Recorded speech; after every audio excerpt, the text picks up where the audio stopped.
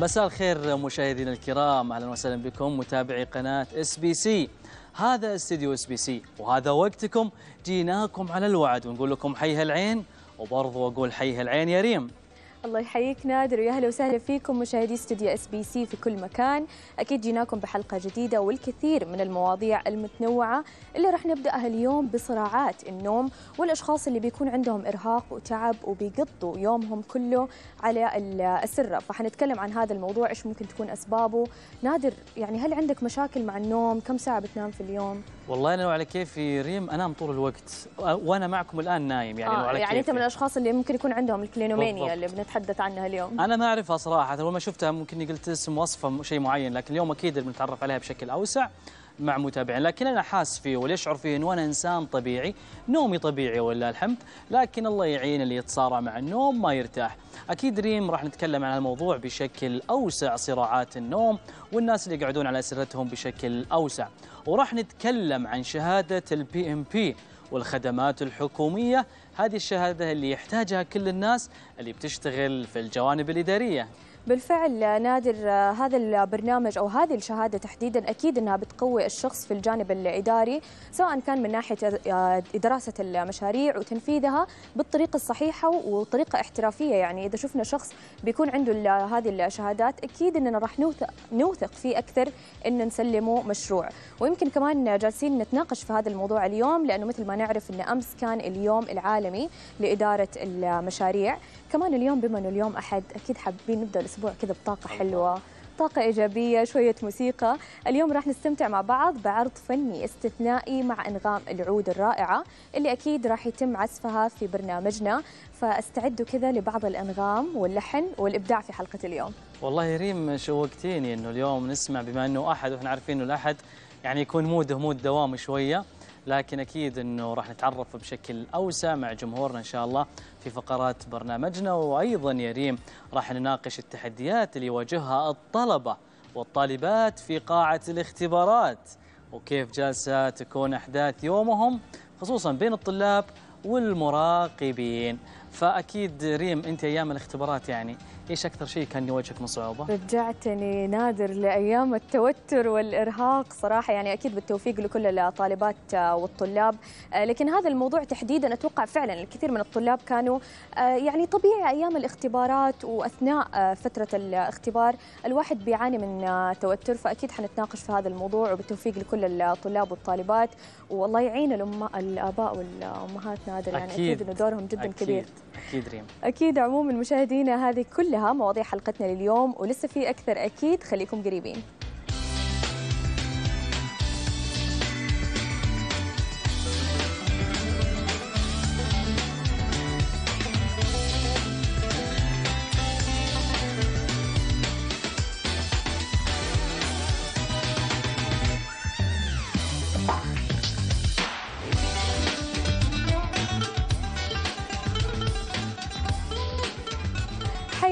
مشاهدينا مرة ثانية خلينا اليوم نبدأ معاكم مع حلقتنا بسؤال الحلقة التفاعلي على حسابنا في منصة X كالعادة واللي أكيد أننا ننتظر مشاركتكم فيه. وسؤال الحلقة هل يحق للمراقب سحب ورقة الإجابة بمجرد الالتفات؟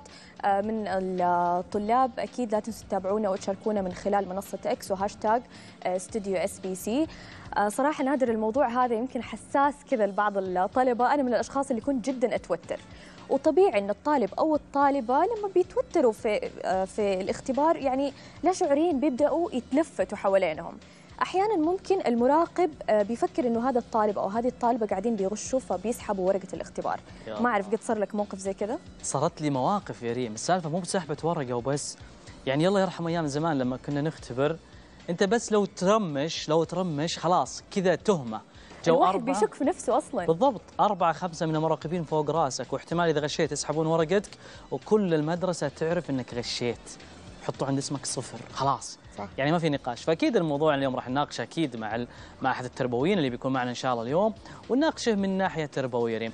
لكن ريم برضو عندنا الآن بما نعيش الآن حزمة من المشاريع الكبيرة أو حتى المشاريع الناشئة. وإحنا عارفين انه الآن رؤية 2030 تستهدف المشاريع خصوصا الشباب والبنات اللي أقدموا في دراسة المشاريع وخصوصا شهادة ال PMP اللي راح تكون بما أن اليوم نتكلم أيضا عن اليوم العالمي لإدارة المشاريع وراح نفصل فيها بشكل أوسع خصوصا الآن يعني نتكلم عن إدارة المشاريع في المملكة. مقبلة على موجة اقتصادية خلينا نقول كبيرة في بناء المشاريع. صحيح وما شاء الله نادر يعني بنشوف الكثير من الشباب اللي آه، بيمسكوا الكثير من المشاريع الكبيرة. أكيد أن مثل هذه الشهادات جدا مهمة لكن اليوم حابين نتعرف كيف ممكن نحصل على هذه الشهادات وإيش فائدتها يعني طبيعي زي ما كنت بقول في البداية أن لما بنشوف شخص يعني عنده خبرة واسعة عنده شهادات في إدارة المشاريع أكيد أننا راح نوثق فيه أكثر أن نسلمه مشروع يعتبر يعني مشروع كبير. بالضبط إحنا عارفين الآن سوق العمل السعودي أصبح يتطلب مثل هذه الأشياء ومثل هذه المهارات اللي هي أساسا موجودة. يعني اليوم راح نتكلم بشكل أوسع فيها ريم فأعتقد إنه الآن أو اليوم المشاهد الكريم راح يلقى وجبه دسمة خصوصا في المواضيع. صحيح. وأيضا من مواضيعنا اليوم راح نتحدث عن الكلينوم... الكلينومانيا مثل ما ذكرنا اسمها شوية صعب نادر. مثل ما ذكرنا الكلينومانيا اللي يمكن الكثير من الأشخاص وتحديدا كمان المراهقين بيعانوا منها. لكن إيش تتوقع السبب نادر؟ والله شوفي أول شيء اسمها صعب. هذا لازم يتكرر عشر مرات مسابقة. كلينومانيا كيلومينيا كلينومانيا لا وفي رواية يقول لك الآن قاعدين يغششون يقولون كيلومينيا أوكي؟ فأعتقد إنه إحنا لازم نسوي مسابقة. اللي يقولها صح خلاص نفهمها بعدين. بس ريم اللي إحنا عارفين إنه يقول لك أغلب الناس اللي يلجؤون الوقت كبير انهم يقعدون في الفراش هذول يعانون منها. وفي ناس يقول لك لا أنا صراحة أحب فراشي أعشق فراشي أنا ما تنطبق علي الصفات يعني هذه. أتوقع يمكن كمان اليوم مع التكنولوجيا مع الجوالات ومع ال social media الواحد صار بيصحى من النوم كم دقيقة بتقعد نادر قبل ما تقوم من الفراش؟ ساعة؟ والله عني أنا نص جزء من؟ جزء من الثانية. من يرن منبه قم. لا حلو ما شاء الله. لأن ما في يعني ما بتعاني. منها أنا اليوم بكتشف بما ان اليوم راح تكون معنا يعني طبيبة في الموضوع راح أكتشف هل أنا من هالناس ومن هالفصيلة؟ ولو كنت برضو تنطبق علي أشياء كيف أتعالج منها؟ وإيش هي أنواعها؟ لكن إن فكرة شاء الله كثير منهم. كثير من الأشخاص بيعانوا منها وممكن ما يكونوا عارفين. يعني خلاص الحياة كلها صارت على الجوالات الأكل بيكون فوق السرير. فيعني أكيد أيوة. ان كثير من الأشخاص ممكن يعا... يكونوا بيعانوا منها. هذا غير طبعا الإرهاق والتعب والشخص اللي يحس نفسه إنه هو مو قادر يقوم من النوم أو مو قادر يقوم من السرير. طيب بعترف اعتراف أنا الآن جاني التصحيح إنه هي فعلا مثل ما قلتي يا ريم. كلينومانيا يعني اللي يغششني يا جماعة الخير يغششني صح. فأنا أتوقع إنه كنا في الاختبارات وغشينا فالوضع بيكون مأساوي. يعني تغش وغلط. النتيجة زيرو. لا هذه مشكلة عاد اللي يغش غلط. يعني عشان كذا دائما نقول الأفضل مو الأفضل أكيد إننا ما, نبغى نغش لكن كمان يا ريت المراقبين ما يسببوا توتر كذا و- وربكة للطلاب والطالبات في قاعة الاختبار ولا؟ صحيح. طيب بنتكلم بالموضوع أكبر ريم لكن من نتكلم عن الكلينومينيا ظهرت في الآونة الأخيرة معاناة البعض من الرغبة في النوم أو البقاء في السرير لفترة تصل إلى 14 ساعة في اليوم. أي نعم 14 ساعة في اليوم. هناك الكثير من التساؤلات لماذا يصاب الشخص بهذه الرغبة وما أسبابها. المزيد من خلال التقرير نتابع.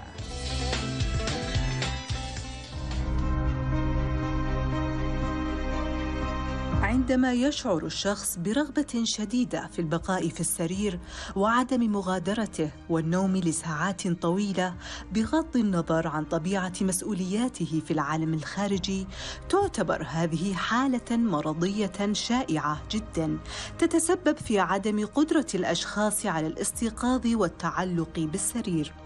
ويطلق على هذه الحالة متلازمة السرير كلينومينيا وقد تؤدي هذه المتلازمة إلى مشاكل في الحياة الشخصية والمهنية والاجتماعية. تم اكتشاف كلينومينيا لأول مرة في القرن التاسع عشر وقد تم وصفها في البداية بأنها اضطراب نفسي يتميز برغبة شديدة إلى البقاء في السرير. ومنذ ذلك الحين تم إجراء المزيد من الدراسات حول كلينومينيا وقد أظهرت هذه الدراسات أن كلينومينيا يمكن أن تكون ناجمة عن مجموعة من العوامل المترابطة فهي خليط من العوامل النفسية والجسدية والبيئية. أكيد عشان نتحدث عن هذا الموضوع بشكل أوسع يسرنا أن تنضم معنا في الاستوديو الأخصائية النفسية ندى العيسى معالجة نفسية ورئيسة وحدة العلاج النفسي. في البداية أهلا وسهلا فيك يا يا دكتورة ندى وأكيد حابين نتكلم عن مصطلح الكلينومانيا بشكل أوسع وكيف نقدر نعرفه؟ آه، يا أهلا بكم. الله يحييكم. الكلينومينيا والكلينومينيا طبعا كلينو مذكورة إنه هذا اسم أصلا آه، يوناني مشتق من جزئين. مينيا أي شيء أي مصطلح فيه هوس.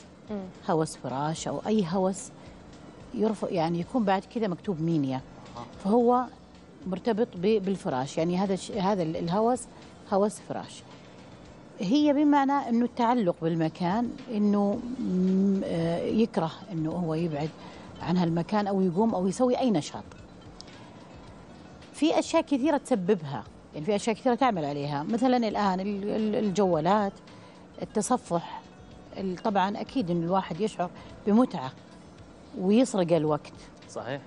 لكن لو استمر على الطريقة هذه ممكن انه هو يصاب بهذا ال- المرض. شوي شوي يصير هو يرفض إنه يطلع على الناس ويتعلق بالأشياء أو العالم الإلكتروني الآخر. جميل. بدل ما يتعامل مع الأشخاص بصفة مباشرة يعني. طيب دكتور إحنا نبغى نبغى ندخل في موضوع الأعراض بشكل أوسع. على أساس إنه في ناس كثير نعرفهم بحياتي يعني يجلسون بالفراش وقت طويل. إي. والبعض ما يقوم من فراشه. كيف أنا أقول أنت فعلا فرق؟ بينهم. يعني إيه، لا يعني فرق؟ مثلا أنا أنا في ال weekend مثلا أنا تعبانة طول الأسبوع في ال weekend أحاول أرتاح.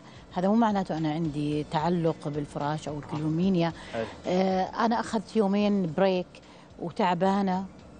هذا ما هو اسمه ان أنا عندي هوس فراش آه مثلا آه، بعد مشقة بعد عملية بعد تعب بعد مجهود إلى آخره. ما يكون لأسباب م- يعني منطقية يعني ان يكون أنا عندي مشاكل أو شيء وبعدها حابه أرتاح أو حابه إني أنا أفصل أو أغير عن الإرهاق اللي عشت فيه فبكافئ نفسي إني بعطي يوم يومين راحة. لا لما الإنسان هذا يكون له فترة طويلة ينام ما لا يقل عن 14 ساعة ولو ما أحد قومه ممكن ما يقوم أو ما يقوم من الفراش. حتى لو ما كان نايم نوم عميق لا هو ما يحب إنه هو آه، يبعد عن الفراش. هذه الحالة لها أسباب كثير هي عرض أحيانا. أحيانا تكون عرض المرض وأحيانا تكون هي المرض نفسه. يعني هل ممكن تكون مثلا عرض لاكتئاب لأي آه، طبعاً. خلينا أقول آه، مرض نفسي آخر؟ أمراض كثيرة تجعل الشخص ما يحاول يبعد عن الفراش. إحساسه بإنه بال- بالإحساس بال- بالدبريشن الاكتئاب مثلا. آه، الفوبيا اللي هو الخوف سواء من المجتمع أو من الأشخاص يخليه يلتزم فراش عشان ما يشوف الناس. الخجل الشديد يخليه ما يواجه الآخرين. ال- الوسواس لأنه عنده نظافة زايدة أو أفكار أو نظافة أو غسيل أو أو فما يحاول يختلط علشان ما يتعب في الغسيل أو في الأفكار أو في التعب فيلجأ إنه إنه إنه ما يحاول يسوي أي شيء فينام يقعد على الفراش. في أسباب وفي أسباب صحية فقر دم آه، مشاكل قصور في أي شيء بأعضاء الجسم السكري كذا كذا إلى آخره. يعني إذا إحنا نبغى نعرف إنه إيش المشكلة عنده لازم يعمل فحوصات صحية أو أو نفس وبعدين نلجأ لل- للشغلة النفسية يعني. نعرف هو إيش سبب. ممكن يكون هو عرض عرض الأمراض بس هو مش المرض. يمكن في عشرين شخص. نفس الشيء ما هم مرتبطين بفراشهم لكن كل واحد فيهم له سبب. آه. سبب. أحيانا صدمة عصبية فيكره إنه هو يقابل الآخرين. وأحيانا إنسان كسول جدا بطبيعته متعود مدلل جدا متعود على إنه ما. يتحرك ما يسوي شيء وما عنده مشكلة. يعني ما في أي مشاكل تصير في حالة إنه ارتبط بالفراش. أو ما قام يوم جميل. يومين أو ما تحرك. ما في شيء وراه يعني عنده- بالعربي. كيف؟ يعني ما في شيء وراه. ما في شيء فيرتبط. بعد فترة يتعود يتعود. يعني هذا تعود يكون. جميل. سلوك. دكتورة دكتورة هذا الشيء خلينا نسأل الآن. هل المرض يعتبر مثلا مزمن أو أنه فترات؟ مثل الآن وقت الشتاء أنا صراحة أحب أجلس بالفراش كثير. كل الناس هذا إيه. شيء طبيعي. هل هو فعلا تجي الشخص مثلا فترة معينة وتختفي ولا تستمر معاه على طول طول العمر؟ إنه إحنا كلنا بداية الشتاء يجينا نوع من الاكتئاب البسيط. هذا الناس السليمين. الش... إي كسليم. طبيعي. كلنا نمر فيها. لكن هل أنت على طول طول أيوة. السنة؟ في هل هل اصابتها لما مستمرة؟ لما أي أي شيء ما يكون له فترة طويلة ومزمن ما يعتبر مرض نفسي أو اضطراب نفسي أي شيء يكون فتري. يعني مثل مثلا الاكتئاب الموسمي على سبيل. المثال؟ الموسم هذا هذا اضطراب هذا اضطراب بحد ذاته اكتئاب شتاء. هذا اضطراب لأنه الشمس تخف لأنه الإنسان يصير يعني آه، تتغير الأشياء. البيولوجية في في, في جسمه لأنه إفراز ال- ال- ال- الميلاتونين يفرز فيخليه كأنه وقت النوم في لخبطة تصير في برمجة المخ. هذا عادي هذا شيء هذا شيء ثاني. هذا اضطراب اضطراب اكتئاب, اكتئاب شتاء يعني معين. لكن الكلينومينيا ولا الكلوفينيا ولا الديسينيا هذول إيش؟ هذول هو عيال عم هذول ولا إيش؟ يعني هم نفس العائله هم كلهم آه، اللي تعلق. إنه إنه إنه تعلق بفراشه إنه ما عنده رغبة بإنه يقوم أصلا. أكثرها اكتئاب. يعني نقدر نقول إنها هي مصاحبة للاكتئاب. ما هي ممكن. آه اضطراب نفسي بحد ذاتها؟ ممكن يكون اكتئاب لأنه أكثر اللي عندهم اكتئاب ما يحاولوا يطلعوا وما يحاولوا يتحركوا. لكن ممكن يكون عنده أشياء ثانية زي اللي قبل شوية حكيتها يعني اضطرابات كثيرة. يعني فإحنا لازم نشوف الأشياء الصحية سواء مستوى الدم سواء ال- ال- الغدة آه، اللي تسبب اكتئاب الغدة الدرقية آه، قصورها يسبب اكتئاب. بعد ما يعمل فحوصات آه، يعني بيو- جسدية ولا صحية. نلجأ لل- لل- للأعراض النفسية. كم بند يتوافق مع الاكتئاب أو مع الوسواس أو مع ال- الفوبيا أو مع الخجل أو أو إلى آخره؟ لما نشوف إنه لا والله كمان إنه مثلا اكتئاب أكثر شيء نحاول عاد إحنا نعالج الاكتئاب نفسه.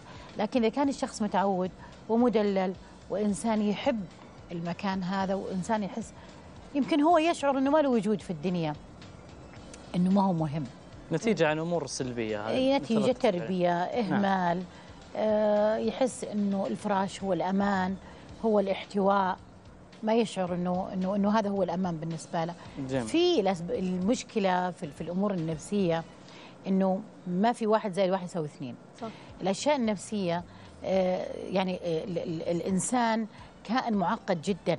ما تقدر تعرف هو إيش فيه بالضبط. ممكن يكون إحنا كلنا آه نفس الأعراض لكن كل واحد فينا يعني آه مختلفة وبطريقة مختلفة. مختلفة. إي لكن هذه المشكلة أنا يعني مرة انبسطت أنكم أنتم ألقيتوا الضوء عليها جد لأنها قليلة جدا. حتى دراسات والأبحاث فيها قليلة كثير. حتى ما هي منتشره حتى اسمها لو أقول لأحد بيقول هذا اسم أكلة ولا اسم شيء. إي إي إي. دليل إن ما حد يتكلم فيها أكثر. لكن دكتورة إذا في إيه هي أح- فعلا هي قليلة وانتشارها إيه قليل. والتركيز وجديدة عليها إنه قليل.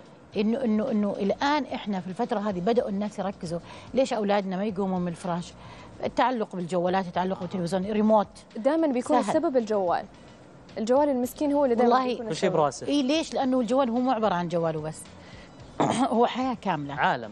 يعني صدقي يعني الجوال شيء جميل جدا. هو حياة كاملة. صح. إذا أنت تبي تتصفحي إذا أنت بتقراي إذا أنت مثقفه إذا انت إذا هذا الإنسان تافه إذا هذا الانسان يعني إيش ما كان الإنسان يجد ضالته.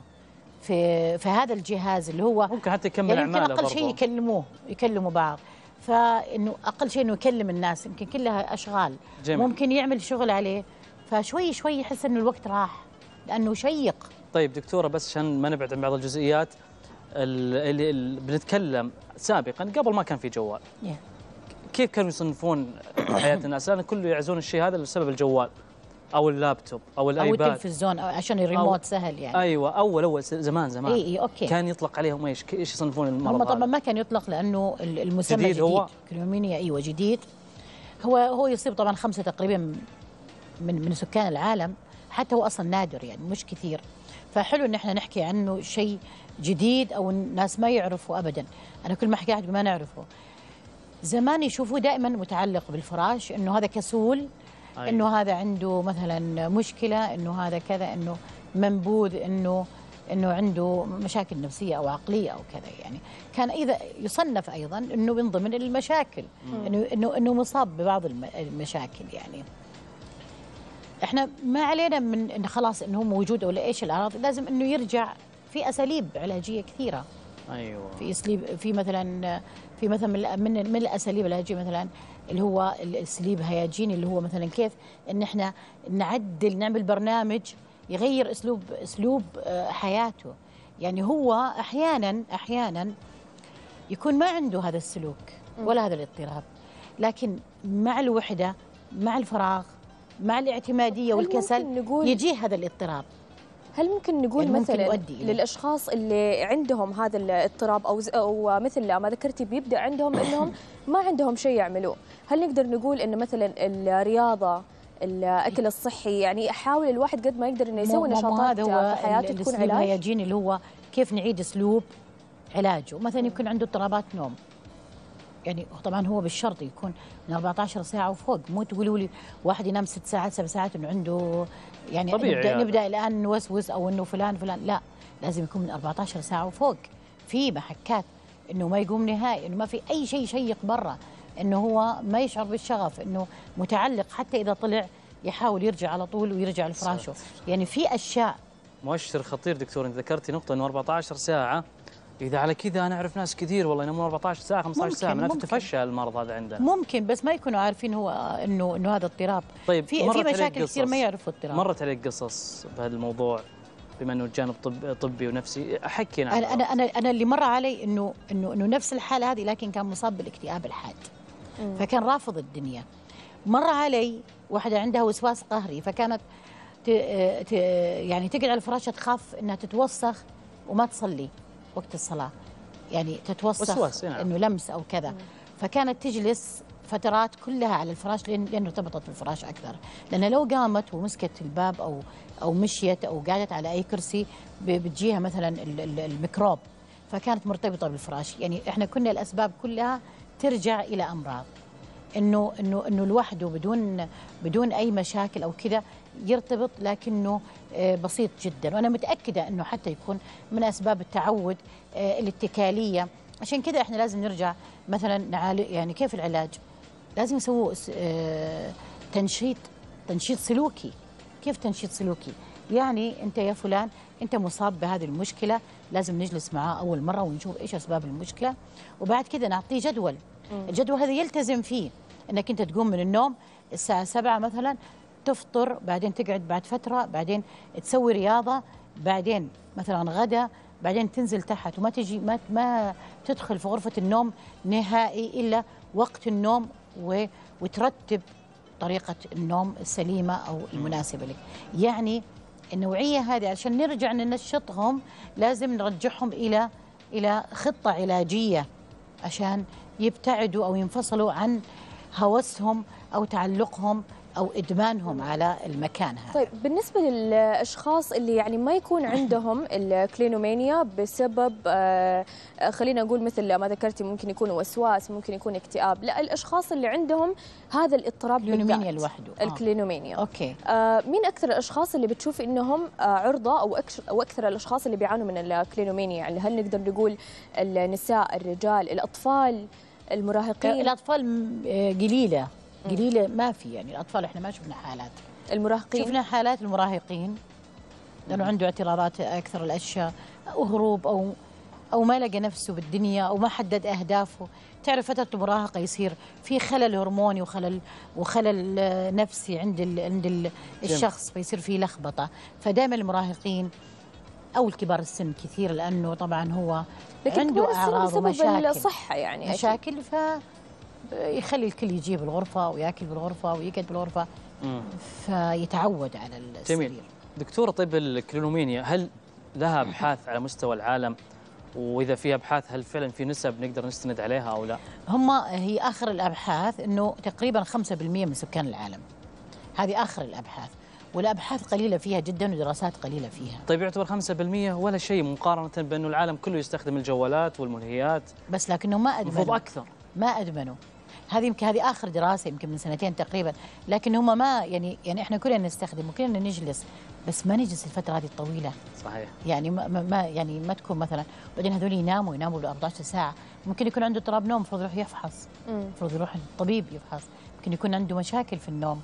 ممكن يكون عنده آه، آه، يعني أشياء في المخ أو كذا. لازم هو لازم يكون في تشخيص طبي بالبداية علشان تعرفي إنه الأعراض هذه ما هي لأسباب اضطراب نوم. أو أمراض ثانية يعني. جميل. آه، بالنسبة للمراهقين طبعا ذكرنا أنه ممكن يكونوا أيضا المراهق المراهقين بيعانوا من الكلينومينيا. كيف ممكن يتم التعامل معهم؟ خصوصا من قبل الأهالي. أكيد أنه لهم دور جدا كبير في البيت. يعني إذا شافوا أنه آه، المراهقين يعني بيقعدوا طول اليوم فوق السرير ما يبغوا يطلعوا من البيت ما يبغوا يطلعوا من غرفة النوم. كيف ممكن يتعاملوا معهم عشان طبعا المشكلة المراهق عنيد. يرتبط العناد بفترة المراهقة. فإذا جينا إحنا بالأس بالأساليب الأبوية الحادة اللي فيها أمر ونهي راح تزيد الحالة لأنه ممكن هو يكون عنده مشكلة كمان. لازم إن إحنا نجيب شيء تشويقي وما نحسسه إنه هذه مرض أو هذه مشكلة. نحكي معاه عادي مو لا أنت لازم تكون لازم تقوم. أنت عندك مشكلة أنا راح أوديك للطبيب والى آخره. ما يكون الأسلوب تخويفي أو هجومي. يكون الأسلوب إنه إنه أنت صاير تنام كثير إيش المشكلة عندك؟ هل أنت تعبان تحب تروح تفحص هل كذا كذا. بحكي بسيط يستسيغه تحفيز. ال- ال- المراهق ونحفزه. بعدين إيش رأيك إحنا نسوي جدول معين؟ أنت شكلك أنا ما عندك شغل أو ما قبلت في الجامعة أو ما عندك وظيفة فحسيت إنه أنت وضعك أو وقتك جدا تافه وما عندك شيء فليش ما أنام؟ فقدان. الشغف بشكل عام دكتور. اي خلاص. يعني بيرد عليك أنا ما عندي شيء صحيح. أنا أنا وش قاعد أسوي؟ صحيح. خليني أنام أحسن. طيب دكتورة أنا بود- ممكن يكون عندي شوية عتب عليكم أنتم أنه ما تنبهونا ما تعلمونا عن مثل هالأمراض هذه. ممكن تتقول حتى أنت الآن تقولين أنه قليل أحد يتكلم في مثل الأشياء هذه.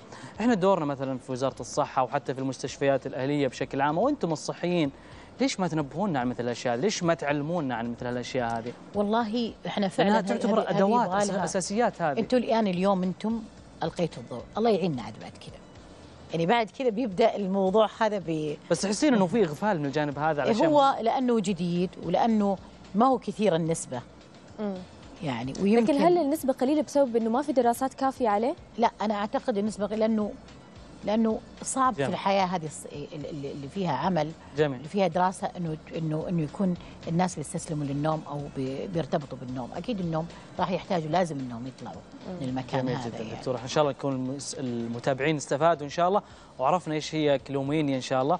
إحنا نشكر أكيد ضيفتنا الأخصائية النفسية الدكتورة ندى سليمان العيسى نعم. وهي معالجة نفسية ورئيسة وحدة العلاج النفسي. شكرا لك دكتورة. العفو يا أهلا الله يحييك. مشاهدينا الكرام نحن أكيد مستمرين في حلقتنا لليوم ولكن فاصل قصير راجعين. خلوكم قريب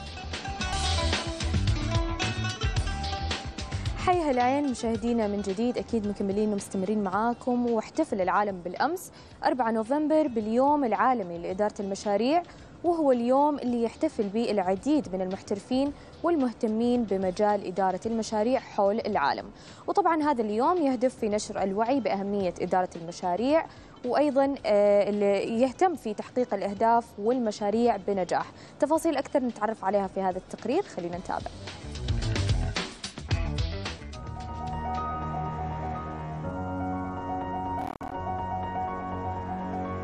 يتم الاحتفال باليوم العالمي لإدارة المشاريع في الرابع من نوفمبر من كل عام بهدف رفع الوعي بأهمية إدارة المشاريع ودورها في تحقيق الأهداف المحددة في مختلف المجالات والصناعات ووفق المدة المحددة لكل مشروع. يعد اليوم العالمي لإدارة المشاريع فرصة للمحترفين والمهتمين بمجال إدارة المشاريع للتعرف على أحدث الممارسات والابتكارات في هذا المجال وتبادل المعرفة والخبرات مع الآخرين. وبشكل عام يهدف اليوم العالمي لإدارة المشاريع إلى تعزيز الوعي بأهمية إدارة المشاريع كمهنة وتحفيز الأفراد والمؤسسات والمنظمات على تحسين قدراتهم في هذا المجال مما يساهم في تحقيق نقلة نوعية للاقتصاد الوطني وإرساء أسس جديدة لتنويع مصادر الدخل ووصولا لاقتصاد يعتمد على التنمية المستدامة وتحسين الاستثمار في مختلف القطاعات. إدارة المشاريع تلعب دورا حاسما في تحقيق رؤية 2030 وتحقيق مستهدفاتها وتتعدد الأمثلة السعودية الفريدة في إدارة المشاريع ومن أبرزها الجد الجدية والبحر الأحمر للطاقة وأمالة والرياض الخضراء الملح ووسط خضراء حديقة الملك سلمان وصنع في السعودية والعلا والمربع الجديد وكورال بلوم.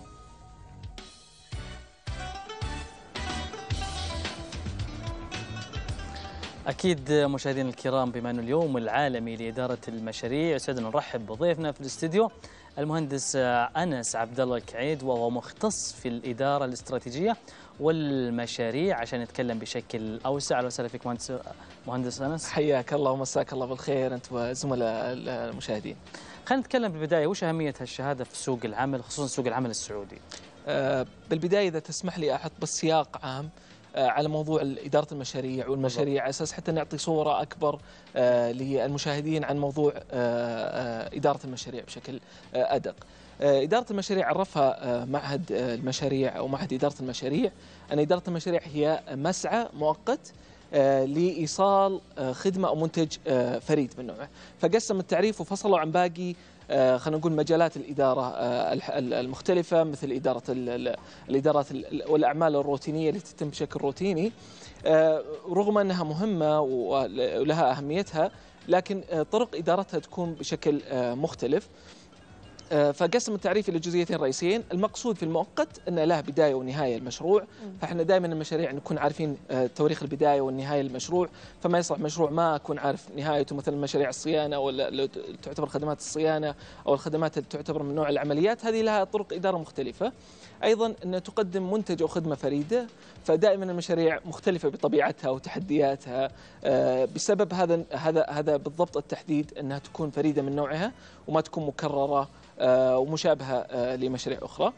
آه، أيضا إذا بغينا نتكلم عن إدارة المشاريع وهو موضوع شهادة ال PMP إدارة المشاريع إدارة المشاريع نتكلم عن تطبيق المهارات والأدوات ل خلينا نقول لإدارة المشروع بطريقة تضمن وجود كفاءة وفاعلية في إدارة هذا المشروع، فركزنا بشكل كبير على موضوع الكفاءة والفاعلية بشكل رئيسي في إدارة المشروع. وإذا تسمح لي أرجع لسؤالك آه، بخصوص أهمية إدارة المشروع وفي السوق السعودي بشكل خاص. يمكن تغيرت آه، يعني مملكتنا الغالية علينا تغيرت بعد عام 2016 عند إطلاق رؤية المملكة 2030 عن طريق آه، عراب رؤية رؤية المملكة صاحب السمو الملكي الامير محمد بن سلمان الله يحفظه. تغير وجه المملكة صار فيه رؤية وجهة معينة إحنا منطلقين ورايحين لها بإذن الله تعالى في عام 2030 صاحب إطلاق هذه الرؤية إطلاق آه، أو أو ظهور عدد من الأهداف الاستراتيجية المهمة والاستراتيجية ركزت على ثلاث محاور رئيسية وطن طموح اقتصاد مزدهر ومجتمع حيوي ووجد مع يعني ووجد معها عدد من الأهداف الاستراتيجية الطموحة اللي بإذن الله إحنا كالسعودية قادرين نوصلها. نعم. آه أيضا آه هذه الأهداف آه أطلق معها عدد من المبادرات والمشاريع الهامة. فهذه المبادرات آه، والمشاريع بحاجة إلى آه، عدد كبير أو, أو, أو شباب سعودي مؤهل لإدارة هذه المشاريع آه، بشكل يضمن بإذن الله خلينا نقول آه تحقيق هذه المشاريع صحيح. وتحقيق المنفعة بكفاءة وفعاليه عالية بإذن الله. صحيح مثل ما ذكرت هذه المشاريع الكبيرة اللي بنشوفها أكيد إنها تحتاج أشخاص آه محترفين في هذا المجال، طبعا كنا بنتناقش على موضوع آه شهادة ال PMP وكيف نقدر نحصل عليها. آه لو جيت أسألك كيف نقدر نحصل على هذه الشهادة علما بأن ال PMI اللي بتقدم هذه الشهادة في الخارج مو بالسعودية. صحيح. فكيف الشخص يقدر هنا يحجز آه، يحصل على شهادة ال PMP بالضبط. آه، بالنسبة لشهادة ال PMP يعني هي زي ما تفضلتي هي موجودة من آه، من من أحد شهادات المهنية الاحترافية الخاصة في معهد ال PMI معهد ال PMI أتاح أنك تقوم بالاختبار سواء كان حضوريا آه، أو أونلاين. يمكن هذه واحدة من من من خلينا نقول الجوانب الجيدة في كورونا اللي صارت. إنه صار اتاحوا بعد كورونا اتاحوا موضوع أنك تختبر آه، عن بعد في بيتك في منزلك في مكان راحتك على قولتهم. تقدر تاخذ الاختبار آه، طبعا وجود اشتراطات خاصة في الاتصال إنترنت يكون اتصال فعال وغيره. أيضا يوجد مراكز معتمدة وهنا دائما ننبه على موضوع على أساس ما يقع أحد على على موضوع إنه تكون المركز غير معتمد أو يكون آه، يعني خلينا نقول في جهات احتيال تحاول تحتال على بعض المتقدمين في مراكز معتمدة من بي ام اي لخوض هذا الاختبار إيش هي هذه المراكز؟ تقدر أنت وقت ما تقدم على آه، أو كيف أعرفها القصد إي بالضبط يعني أنت وقت ما تقدم على اختبار ال PMI في ال application لما تيجي تحدد آه، وين تبغى موقع الاختبار سواء كان أونلاين ولا حضور يحدد لك بالضبط وين موقع آه، ممتاز. آه، يعني المكان اللي تختبر فيه. جميل. ممتاز. مهندس خلينا بنتكلم بشكل أوسع الآن يعني بشكل تفصيل عن الموضوع هذا. مثلا أعتقد إنه حامل الشهادة الثانوية وحامل البكالوريوس كل واحد له ساعات معينة. بالضبط. كم هذا وكم هذا؟ عشان نفهم بشكل أوسع. بالضبط. يعني بالنسبة لحامل شهادة ال- ال- البكالوريوس آه، يمكن في بعض الناس يرى إنه شرط آه، شوي معقد آه، أنه يكون على الأقل 36 شهر خبرة في مجال إدارة المشاريع. ثلاث سنوات تقريبا. تقريبا ثلاث سنوات في عدد ثلاث سنوات. أيضا في عدد آه، 35 ساعة تدريبية وهنا نقول 35 ساعة نفس الشيء. نرجع للمراكز المعتمدة ونشوف هيئة تقويم التدريب والتعليم أيضا يقومون في جهود آه، كبيرة بخصوص هذا الشأن ع- بخصوص اعتماد آه، مراكز التدريب آه، مراكز التدريب المعتمدة من بي ام اي فهنا في عندنا اشتراطات آه، خلينا نقول نوعا ما ما تعتبر صعبة آه، لل- للجميع آه، آه، قادر إنك كمدير مشروع تحقق هذه ال- المتطلبات. الشرط الأول يمكن بعض ال- ال- ال- المستمعين حديث تخرج ويرغب إنه يدخل في مجال إدارة المشاريع ويشوف إنه هذا الشرط خلينا نقول تعجيزي بالنسبة له. كم ساعة؟ اللي هي عفوا اقصد ال- الخبرة ثلاث سنوات خبرة. كم ساعة لازم يدرس؟ إي بالضبط. أنت الآن تدرس البكالوريوس اللي تقريبا 128 ساعة تمام. تعادل آه لكن ممكن أتاحوا لك فرصة إنك تختبر اختبار شبيه بال PMP وهو اختبار يسمونه Certified Associate Project Manager أو اختبار مساعد آه مدير المشروع. وهذا أيضا اختبار آه احترافي. ويختبر مدير المشروع المبتدئ على عدد من العناصر الموجودة في الاختبار الرئيسي فهي بالعكس تعتبر خطوة ممتازة لحديثين التخرج وبالعكس أنا من هالمنبر يعني أدعو آه، آه، حديثين التخرج المهتمين في مجال إدارة المشاريع انهم والله يشوف شهادات بديلة لاختبار ال PMP اللي يمكن ما يحقق فيها آه، شروط. جميل طيب لو جينا نتكلم بالنسبة للأشخاص آه، حاملي شهادة ال PMP كيف ممكن يستفيدوا من هذه الشهادة؟ آه، كيف ممكن تساعدهم في إنهم يطوروا مجالهم المهني وكمان على الاستدامة؟ ممتاز سؤال رائع. بالنسبة لشهادة ال PMP وزي ما ذكرنا بالتعريف سابقا مركز على موضوع الكفاءة والفاعليه مم. شهادة ال PMP ترى ما هي علم آه، معقد هي إطار عمل تعطي مدير المشروع إطار عمل وأدوات تقدر تستخدمها في مشاريعك. وهذه ميزتها أنها قابلة للتخصيص فأنت تقدر تستخدمها في مشروع على منظمة معينة تأخذ منها أجزاء معينة اللي تس- اللي تساعدك في مشروعك وممكن تستخدم أجزاء آه، أقل منها على مشروع أقل تعقيدا. فهذه تساعد مدير المشروع على إدارة مشروع بكفاءة وفاعليه وهي هدفها ودائما أنا أنصح الجميع إدارة المشاريع مو هدفها إنها تزيد التعقيد للمشروع. هي هدفها إنها تساعدك لإدارة مشروعك بكفاءة عن طريق الأدوات والمهارات اللي ممكن تزودك فيها آه، آه، هذه الشهادة. جميل. مهندس أكيد إنه من منطلق الاهتمام وحسب رؤية 2030 اللي تدعم المشاريع أعتقد السنة الماضية أقيم المنتدى العالمي للمشاريع صحيح. في الرياض. صحيح. يعني هالشيء هذا يعطينا صورة انعكاسية إنه 2030 قاعدة تدعم المشاريع بشكل كبير؟ بالضبط. رؤية 2030 هي زي ما قلت هي المنارة اللي قاعدة ك- ماشية عليها مملكتنا الغالية. يعني عندنا هي الطريق. الآن إحنا كلنا عارفين كسعوديين في 2030 إيش الأهداف الاستراتيجية اللي عندنا؟ إيش الأهداف الطموح مرسومة. اللي نبغى؟ مرسومة وواضحة. سهل لنا الموضوع. آه الله يحفظه طال عمره. فالآن الطريق واضح بالنسبة لك. إحنا عندنا الأدوات اللي ممكن إنك تساهم إنك تشتغل في رؤية المملكه 2030 بس برجع على سؤال موضوع المنتدى العالمي اللي يقيم. وبالمناسبه السنة هذه بإذن الله آه، سيقام في نهاية شهر نوفمبر آه، هنا في الرياض. نفس المنتدى عالمي لإدارة المشاريع يستضيف فيه متحدثين عالميين آه، في هذا المجال. ويصير في فرصة أيضا لإقامة التعارف هذا المجتمع آه، مدراء المشاريع في المملكة العربية السعودية للناس المهتمة فيه. آه، يمكن آه، هذا قائم عليه بشكل رئيسي مجموعة تسمى كي اس اي بي ام اي شابتر أو مجموعة. ال chapter الخاص في ال PMI في المملكة العربية السعودية. جميل. إحنا إن شاء الله نكون استفدنا وأنا من ضمن الناس صراحة اللي استفدت. ودائما إذا صاروا معي ضيوف أنا أحاول أسرق منهم معلومات وإن شاء الله نوصل المعلومات. أيضا للضيوف. ال- المشاهدين عفوا. المهندس أنس عبد الله الكعيت المختص في إدارة المشاريع الاستراتيجية والمشاريع. شكرا لك. الله يسعدك. شكرا جميعا. شكرا لك. وأكيد مشاهدينا شفنا كيف بدأت فعاليات موسم الرياض 2023 بتألق وأكيد أيضا بنجاح كبير. واستضافت محمد عبده أرينا العديد من النزالات الرياضية المميزة وتصدرت المصارعة المحترفة WWE الأحداث. حيث شهدنا Jewel Crown تعود في بداية موسم الرياض وسط وسط حماس وترقب كبير جدا من الجمهور. خلينا نتابع هذه الفعالية في هذا التقرير ونرجع لكم.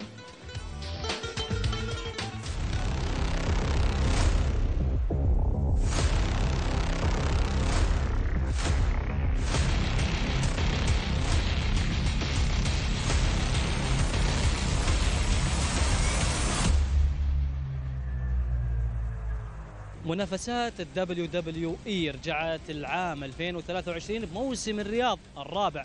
أكيد إحنا قاعدين نشوف الجمهور ما شاء الله تبارك الله بكل مكان ومن كل مكان جايين وإحنا اليوم راح نغطي لكم اللقب وبرضو الفائز باللقب.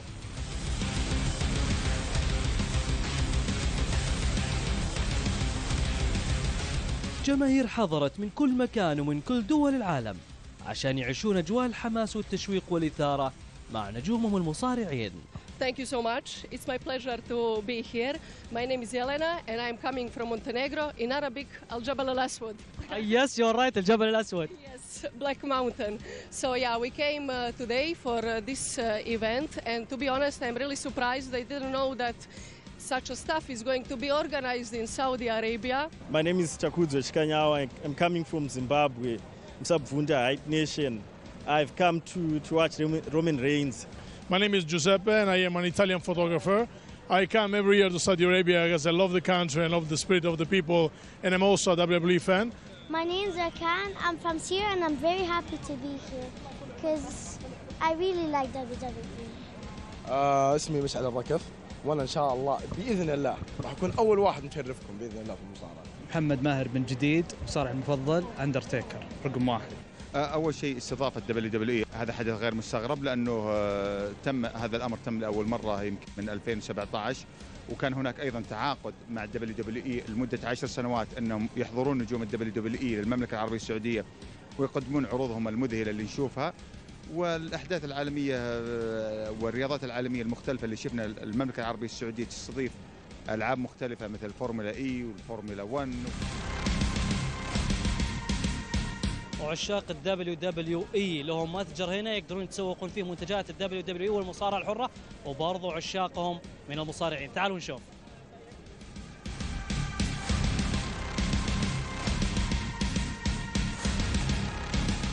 أنت جاي تشجع مين الليلة؟ جاي أشجع سيث رولينز.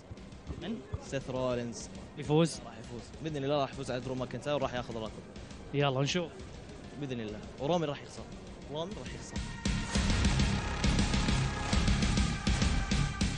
وزادت أجواء المصارعة حماس بحضور النجم والممثل الشهير جون سينا اللي صفق له الجمهور رغم هزيمته من سولو سيكوا.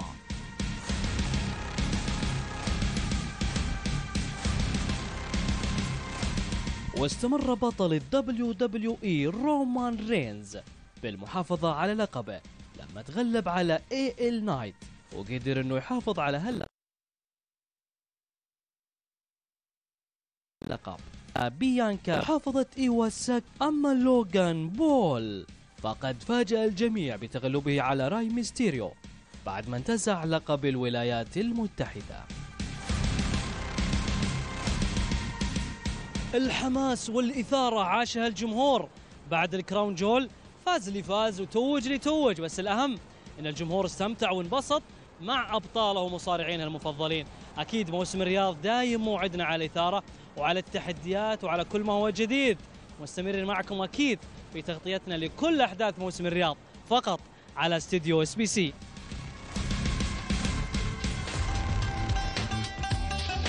أنا حضرت يا جماعة الخير المصارعة الكراون جول صراحة استمتعت والأجمل أنه الجمهور حاضر ويشجع وصراحة حماس الموضوع. خصوصا نتكلم عن زوار من جميع أنحاء العالم مش فقط من المملكة أو حتى من الدول العربية. فأنا من الناس اللي استمتعوا فلو كنت معضل شوية كان شاركت في في النزال وأخذت اللقب عليهم أكيد مشاهدينا إحنا مستمرين معكم في حلقتنا اليوم بس فاصل قصير وراجعين. خليكم قريب.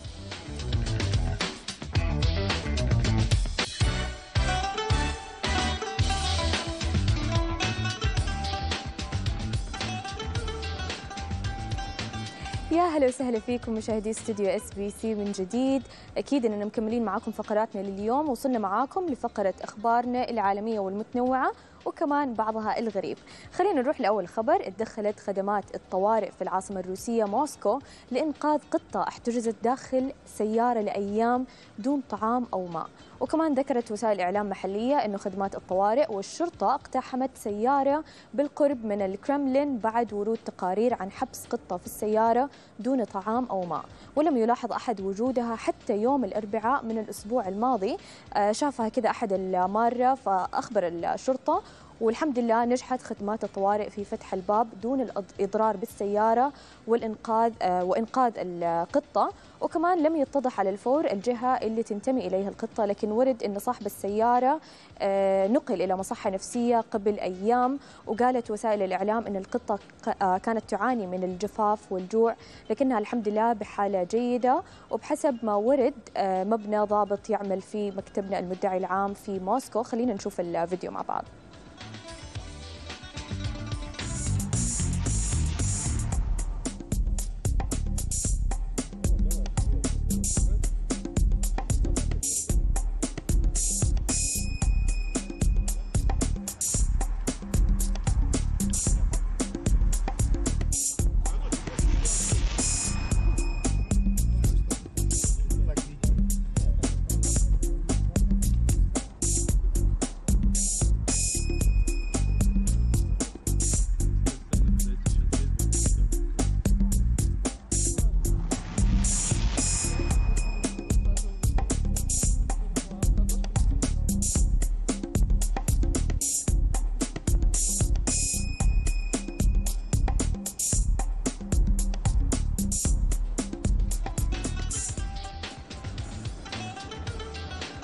والله يا القطو يا ريم يكسر الخاطر عيونه منفجه وحالته حالة.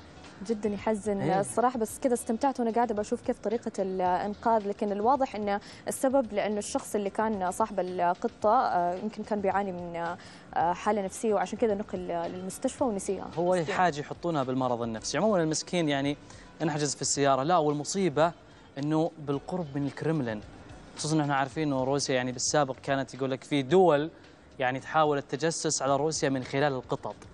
هل ف- تتوقع إنه إيه. ممكن يكون هذه ال- فهم خايفين من الموضوع هذا جنب يعني القطة ممكن تكون جاسوسة؟ ممكن. شفنا شفنا أفلام لكن ما كثيرة. أتوقع. هي في النهاية قاعدة في السيارة لحالها بأمان الله ومسكينه لا عندها لا أكل ولا ماء ولا شيء. بالضبط. شكله جاسوس فشل هالمرة القطو. عموما الحمد لله انهم انقذوها وأنا أقول إنه صاحبها أو اللي مربيها إن شاء الله إنه ما يأخذها مرة ثانية لأنه حرام تكلمنا عن كم يوم وهي في السيارة. صحيح خصوصا إنه يعني. نقل آه، آه، مستشفى أو مرض أو عنده مرض نفسي فأكيد إنه ما راح يرجعوا له القطة. طيب خلينا نطلع من الأرض إلى السماء. وين؟ أعلنت وكالة ف- ف- الفضاء الأمريكية ناسا عن إطلاق خدمة البث الجديدة. اللي هي تعتبر خالية من الإعلانات وبدون تكلفة. عشان إيش؟ عشان نشوف النجوم يا جماعة الخير. هالشيء هذا يا ريم يجي تعزيزا لتواجدها على شبكة الإنترنت بعد إتاحة خدمة البث التلفزيوني وقناتها على مواقع يوتيوب.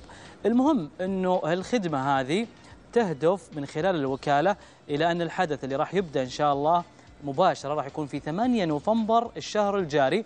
راح يضاف أيضا محتوى بث أصلي جديد علشان يتم اكتشاف الكون من خلال لقطات حية لنجوم سبق وأن رصدتها مهمة الكويكب أوسيرس ريكس قبل شهرين. طبعا يجي ذلك ضمن برنامج ناسا الجديد اللي يتيح تنزيل تنزيل المواد أيضا واستخدامها على معظم المنصات الرئيسية عبر تطبيق ناسا على الهواتف المحمولة. اللي تعمل أكيد بنظام ال iOS وأندرويد وأجهزة الكمبيوتر المحمولة والأجهزة اللوحية. خلونا نشوف.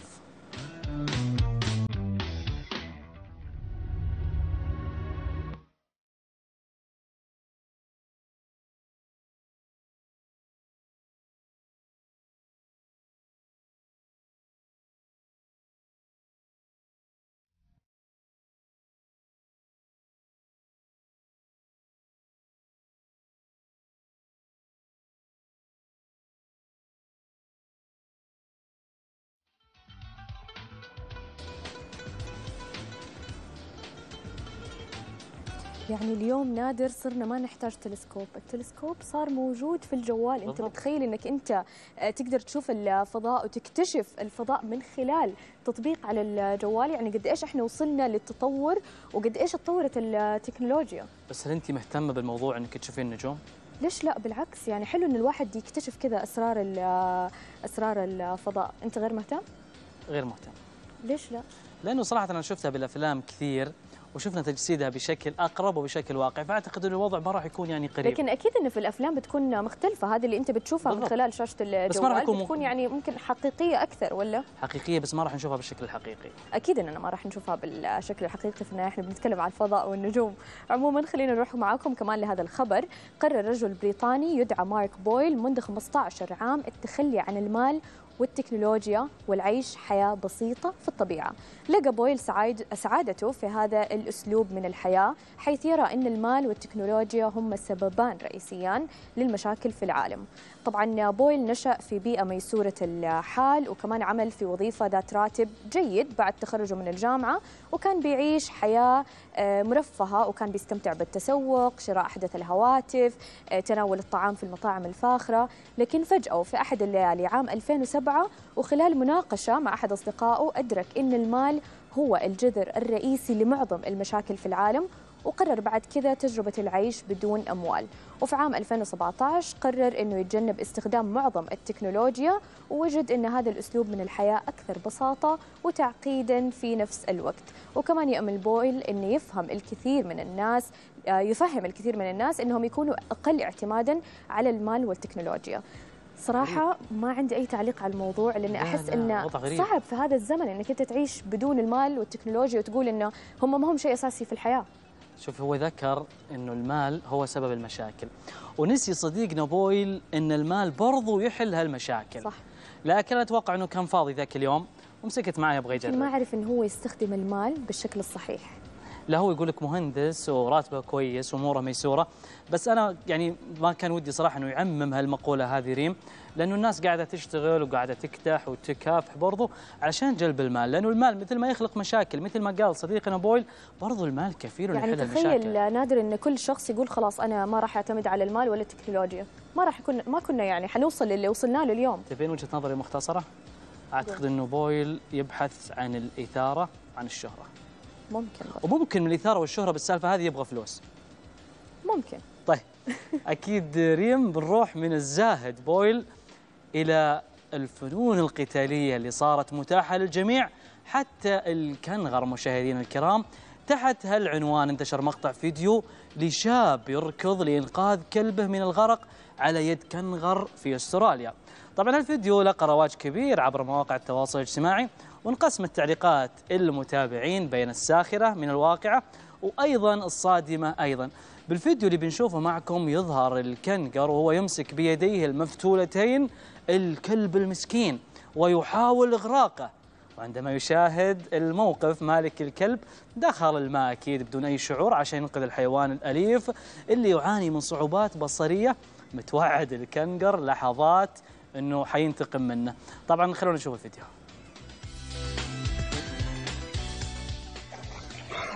I know, punch your fucking head in. Look at my dog.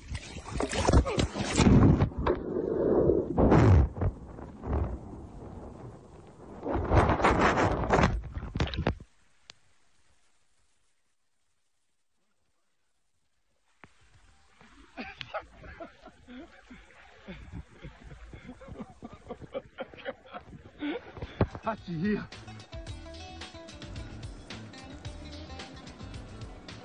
في كذا شوية اختلافات هنا تص- بتصير بيني وبين نادر نادر بيقول كنغر مسكين وأنا بقول له لا الكن... الكنغر ترى من الحيوانات اللي يعني ممكن شرسه اهو زي ما شفنا شفتي منه هجمت شيء؟ على الرجال قد ضرك. بشيء؟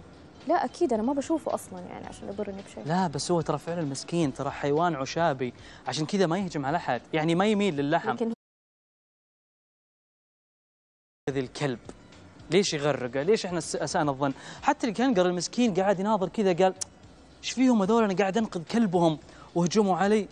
وبعدين ترى على فكرة ترى في كناقر معضلة. مو عشان كذا بقول لك آه. إنها تعتبر من الحيوانات اللي ما راح أقول شرسة لكن ممكن إنها تهجم. لا هو إذا انت هجمت عليه فأكيد تنتبه منه لأنه لكمة واحدة منه ممكن تقضي على إنسان بالغ. بس يعتبر إنسان يعني يعتبر حيوان مسالم. هو ما هو من الحيوانات المسالمة نادر لكن ممكن حلو أنا من حسن حبي ليه حلو من حسن حبي الظن. من حبي ليه قلت إنسان مسالم لأنه هو فعلا أنا أشوفه مسالم صراحة. فقاعد ينقذ الكلب صراحة. مو قاعد يغرقه.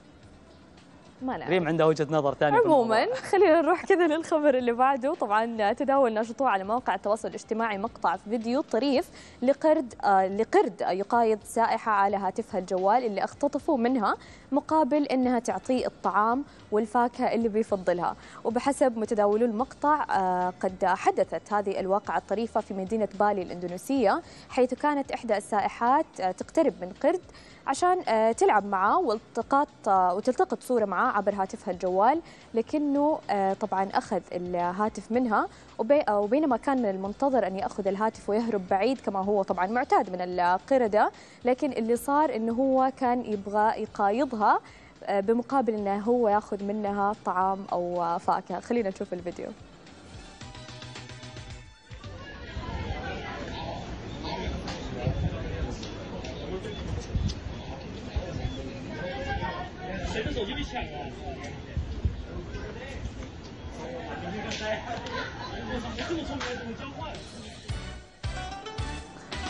والله القرد يا ريم واضح إنه ناجح بالمفاوضة والمقايضة. قدر أنه هو يأخذ اللي يبغاه ويرجع لها الجوال. هذا اللي ماخذ دورات في الإدارة أتوقع. ممكن ماخذ ال PMP بعد تكلمنا عنها قبل شوية. فالقرد هذا ذكي يا جماعة الخير. فاوضها علشان تعطيه الفاكهة. القردة من الحيوانات الذكية لكن المشكلة أنها هي أحيانا يعني ممكن بتهجم على الإنسان أو تسرق وتسرق منه الأكل مثل ما سبحان الله، شفنا الآن تمدح القرد. الجوال. قبل شوية لا أنا ما الكنغر. أنا ما أحب القردة أخاف منهم نادر. بس أيهم أكثر اجرام القرد ولا الكنغر؟ لا أكيد. ما أقدر أقارن لا لا الكنغر لأنه مسالم عايش حياته الحاله في البر ولا؟ لكن القرد متسلط على الناس. هو صحيح متسلط على الناس. طيب ريم خلينا نروح للمراهق اللي تسلط وأثار غضب كبير في بريطانيا. عموما يقول لك أثار مراهق بريطاني غضبا في بريطانيا وحول العالم بعد إقدامه على قطع شجرة تاريخية شهيرة عمرها يزيد على قرنين من الزمن. مما استدعى القبض عليه من الشرطة ووفقا لما هو منشور في وسائل الإعلام الغربية. فقد عمد المراهق اللي يبلغ عمره 16 عام على قطع شجرة الجميز الشهيرة التي تقع في نورثمبرلاند الوطنية في شمال إنجلترا المشهورة لدى الملايين حول العالم. طبعا هي نذكر أنها ظهرت في فيلم روبن هود أمير اللصوص عام 91 وتقع الشجرة الجميز الشهيرة في منطقة خالية من الأشجار. بجانب جدار هادريان التاريخي المدرج على لائحة التراث العالمي لليونسكو واللي تم بناؤه منذ حوالي 1900 عام لحماية أقصى الحدود الشمالية الغربية للإمبراطورية الرومانية نتابع الفيديو You've probably heard about the vandalism at Sycamore Gap. I used to picnic here with my wife and my kids. We've brought relatives from around the world here to see this. People have had their ashes scattered here. People have proposed here. I'm normally a pretty measured sort of guy, but this has made me incredibly angry. And I really hope the people who did this صراحة يعني ماني مستغربة ليش هذا الخبر فعلا أثار استياء الكثير من الأشخاص ومثل ما شفنا كمان أن أحد الخبراء قال أن من الصعب إنقاذ الشجرة يعني ما أعرف ليش ممكن إنسان يعمل شيء زي كذا شوف هو ما في تفسير إلا شيء واحد صراحة إنه إحنا داخلين الآن على الشتاء ويبغى يقصص يبغى حطب ما في لك كذا ما لقى إلا هذه الشجرة بعدين يعني أكيد أنه ممنوع نادر هو ممنوع لكن من الأساس يعني لو السلطات البريطانية يعني مهتمة في الشجرة كان أقل شيء حوطتها وحطت عندها حراسات بما انها يعني تعتبر شجرة تاريخية. صحيح هي تعتبر شجرة, شجرة تاريخية ومثل ما قلت نادر كمان ظهرت في فيلم في عام هود، صحيح. 1991 فأكيد أن هذه شجرة تاريخية ولها قيمة لكن للأسف في بعض الأشخاص يمكن صحيح. ما بيهتموا عموما خلينا نأخذكم أيضا إلى هذا التقرير حيث احتفلت شركة النهدي الطبية بحصولها على جائزة أفضل بيئة عمل للسنة العاشرة على التوالي.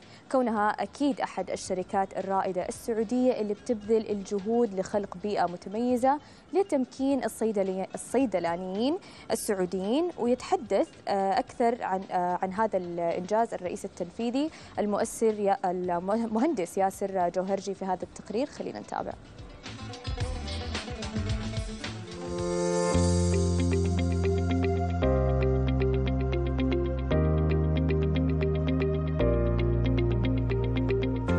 Great Place to Work. احتفلت شركة النهدي الطبية بحصولها على جائزة أفضل بيئة عمل. كون النهدي تهتم وتبذل الجهود لتمكين الصيدلانيين السعوديين في المملكة. طبعا شكرا على الاستضافة. اليوم آه، يوم جميل واحتفال آه، مميز لأنه إحنا مو آه، بس أفضل بيئة عمل إحنا من أفضل بيئات العمل لأبنائنا وبناتنا السعوديين. وهذه وسام على صدرنا كلنا. والحمد لله إحنا يعني بيئة جاذبة أولا وأخيرا ومحفزة وتعطي فرص وتعطي آه، حوافز وتعطي تطوير مستمر. بفضل الله سبحانه وتعالى إحنا استثمرنا أكثر من 500 ألف ساعة تدريب في أبنائنا وبناتنا آه، الصيادلة والصيدلانيات السعوديين. وهذا طبعا يساعدهم على آه، التطور والتقدم في رحلتهم المهنية إن شاء الله.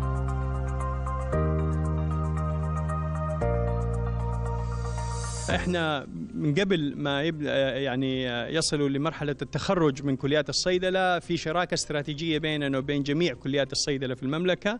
آه، تمكنا من آه، وضع المنهج للصيدليات المجتمعية في كليات الصيدلة. استطعنا جذب آه، ابنائنا وبناتنا قبل ما يتخرجوا. عشان يسووا التدريب تبعهم في الصيدليات المجتمعية في النهدي. وسوينا شراكات مع تقريبا جميع آه، كليات الصيدلة في المملكة كلية ال- الصيدلة في الملك سعود الملك عبد العزيز الطايف أم القرى الملك خالد جيزان الجوف ويعني أغلب ال- ال- الكليات الصيدلة. وهذا ساعدنا على جذب الشباب آه، والشابات. فأنا أشكر جميع الجامعات في القطاع التعليمي على دعمهم لنا والشراكة اللي بيننا وبينهم. إحنا بفضل الله ثم بدعم آه، ال- الجهات ال- المختصة والحكومية. آه، يعني اولا وأخيرا أنا أخص بالذكر وزارة الموارد البشرية وفريق توطين ووزارة الصحة بقيادة معالي الوزير اللي بيدي اهتمام مباشر للموضوع هذا آه، كبير وبيذللوا العقبات اللي بتواجه القطاع الخاص. بشراكتهم بفضل الله طبعا اولا وأخيرا استطعنا إنه إحنا نستقطب ونوظف ونحافظ على أكثر من ألف آه، صيدلاني وصيدلانية سعوديين آه، يمثل بناتنا منهم 500 صيدلانية وهذا فخر لنا بفضل الله وطبعا هذه من تعتبر الأعلى آه، من أعلى أو الأعلى في قطاع الصيدليات المجتمعية من ناحية استقطاب الكوادر السعودية. طبعا ما في شك الجميع آه، شركائنا لكن بالأخص آه، وزارة الصحة وزارة الموارد البشرية آه، والاهتمام اللي بيلقاه الملف هذا من أعلى سلطة في الوزارة من معالي الوزير في وزارة الصحة ومن معالي الوزير في وزارة الموارد البشرية بيحفزنا دائما. والحمد لله إحنا اليوم استطعنا أن نصل في فترة قصيرة آه، إلى عدد ألف آه، من بناتنا وأولادنا ويمثل هذا 25% من صيادلتنا والقادم أجمل و- وأفضل بإذن الله.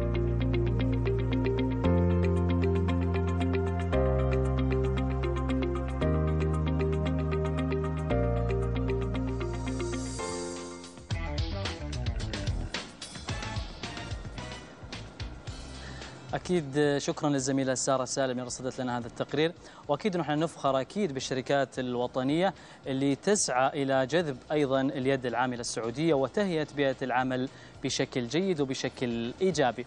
مشاهدينا إحنا أكيد مستمرين معكم في حلقتنا لليوم وراجعين لكم مع التحديات اللي تواجه الطلبة والطالبات في قاعة الاختبارات، خلوكم قريبين.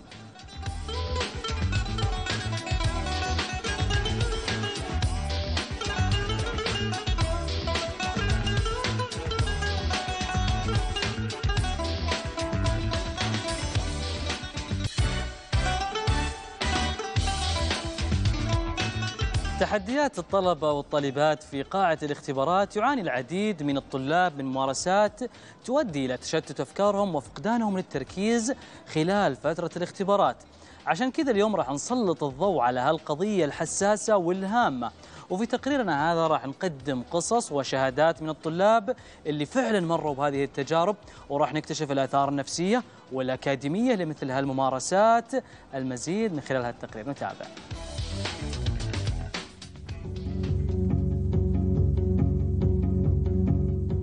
أجمع عدد من الطلاب والطالبات في المرحلة الثانوية إلى أن مدارسهم تقوم بتذكيرهم وتوعيتهم بحقوقهم أثناء تأدية الاختبارات.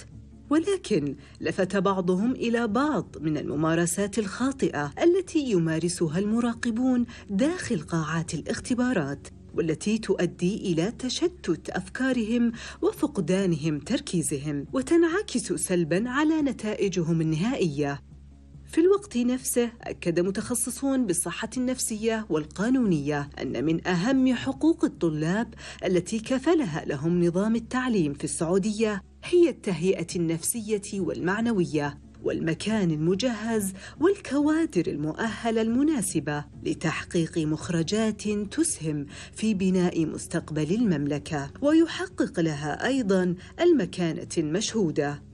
وبعد دراسة أجريت على بعض الطلاب والطالبات في المرحلة الثانوية أشار البعض إلى أن من أكثر الأمور التي تقلقهم وتفقدهم تركيزهم أثناء الاختبار هي التنبيه بالملاحظات الخاصة بالاختبار بكثرة من قبل المراقبين.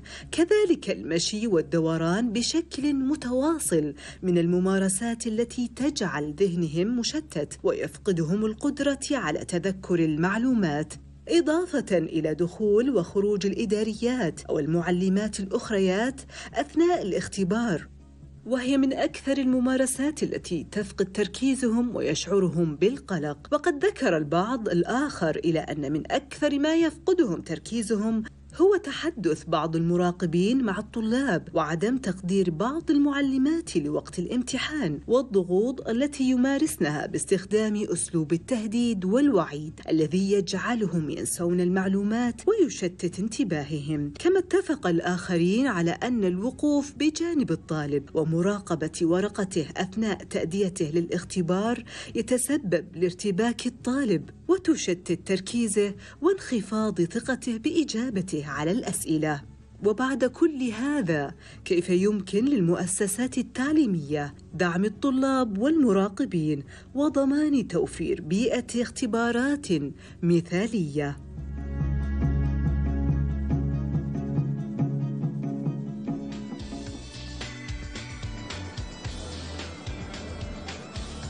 واكيد للحديث أكثر عن التحديات أو المشاكل اللي ممكن تواجه الطلاب والطالبات أثناء فترة الاختبار.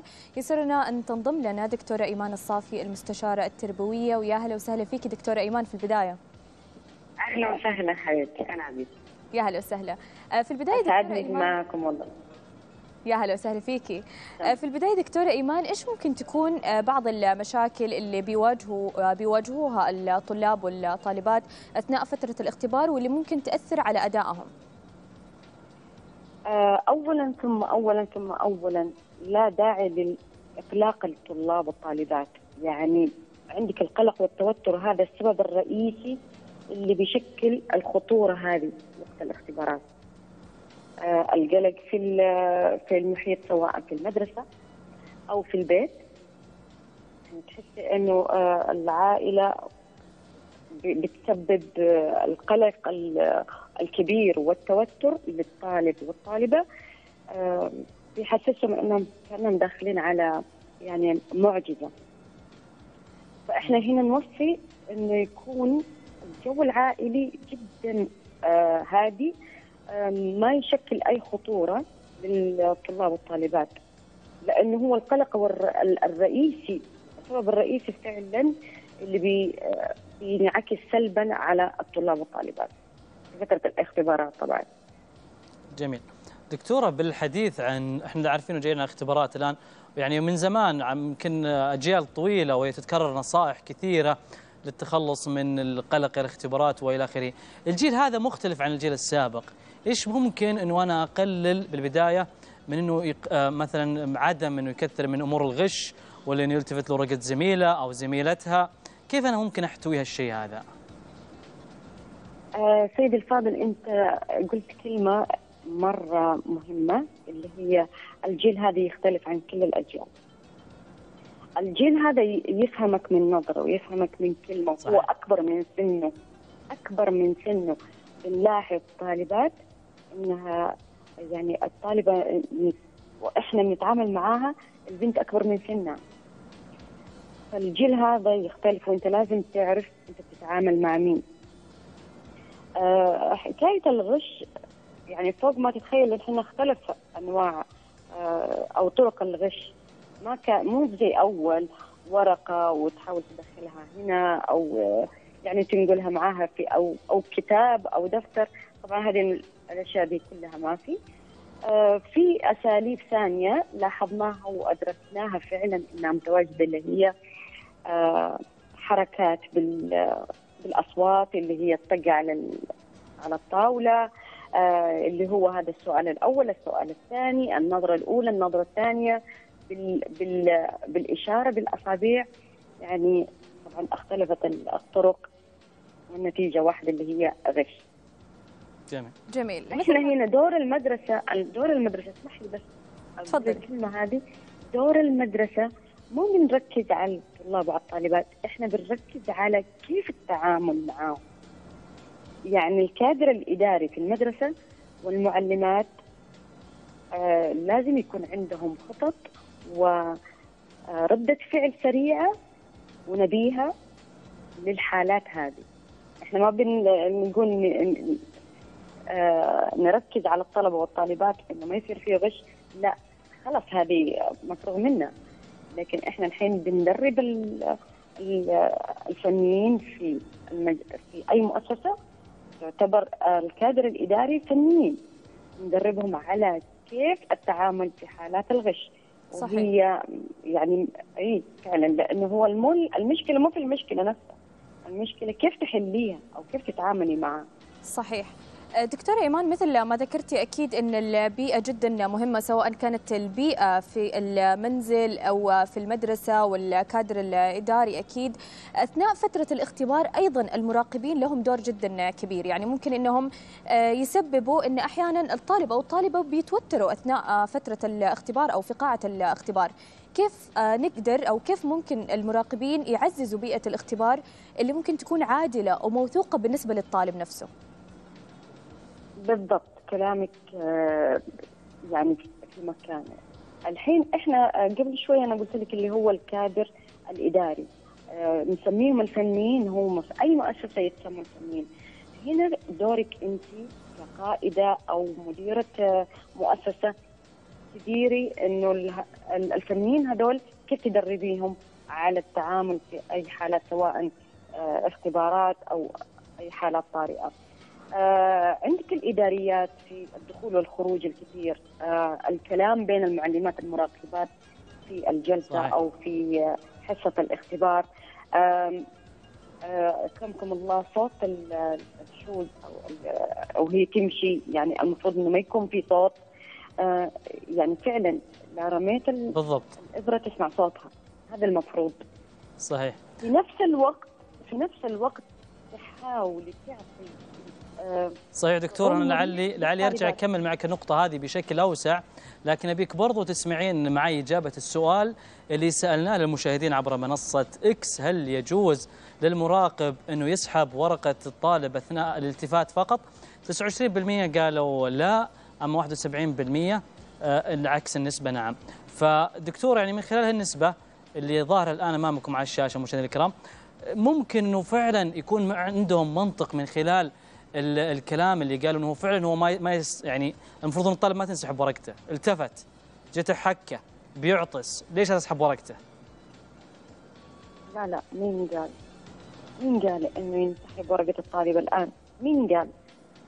الاجراء هذا قديم جدا والآن إحنا ما بنوصل الطالب لهالمرحلة أصلا إنه آه ينسحب منه ورقته لا غلط ابدا ما في هالإجراء ابدا يعني من سنين دكتوره أيمان الصوت بس. عشان نقدر نسمعك بشكل كويس. أنت ذكرتي إنه النقطة هذه إنه التعامل هذا انتهى وراح عليه الزمن. إيش هو اللي الآن. ممكن المراقب يتخذه مع الطلاب؟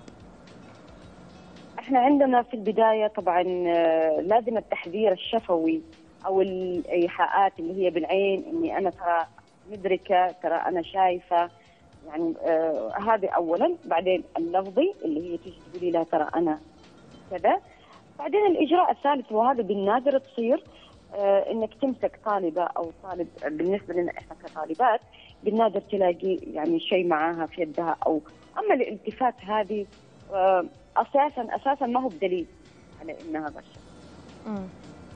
طيب لازم يكون أنت عندك إيه، إيه، تفضل خلينا نقول على سبيل المثال دكتورة إيمان آه، أحد المراقبين سحب ال- ورقة الإجابة من الطالب وبعد كذا شك أنه آه، في ظلم للطالب.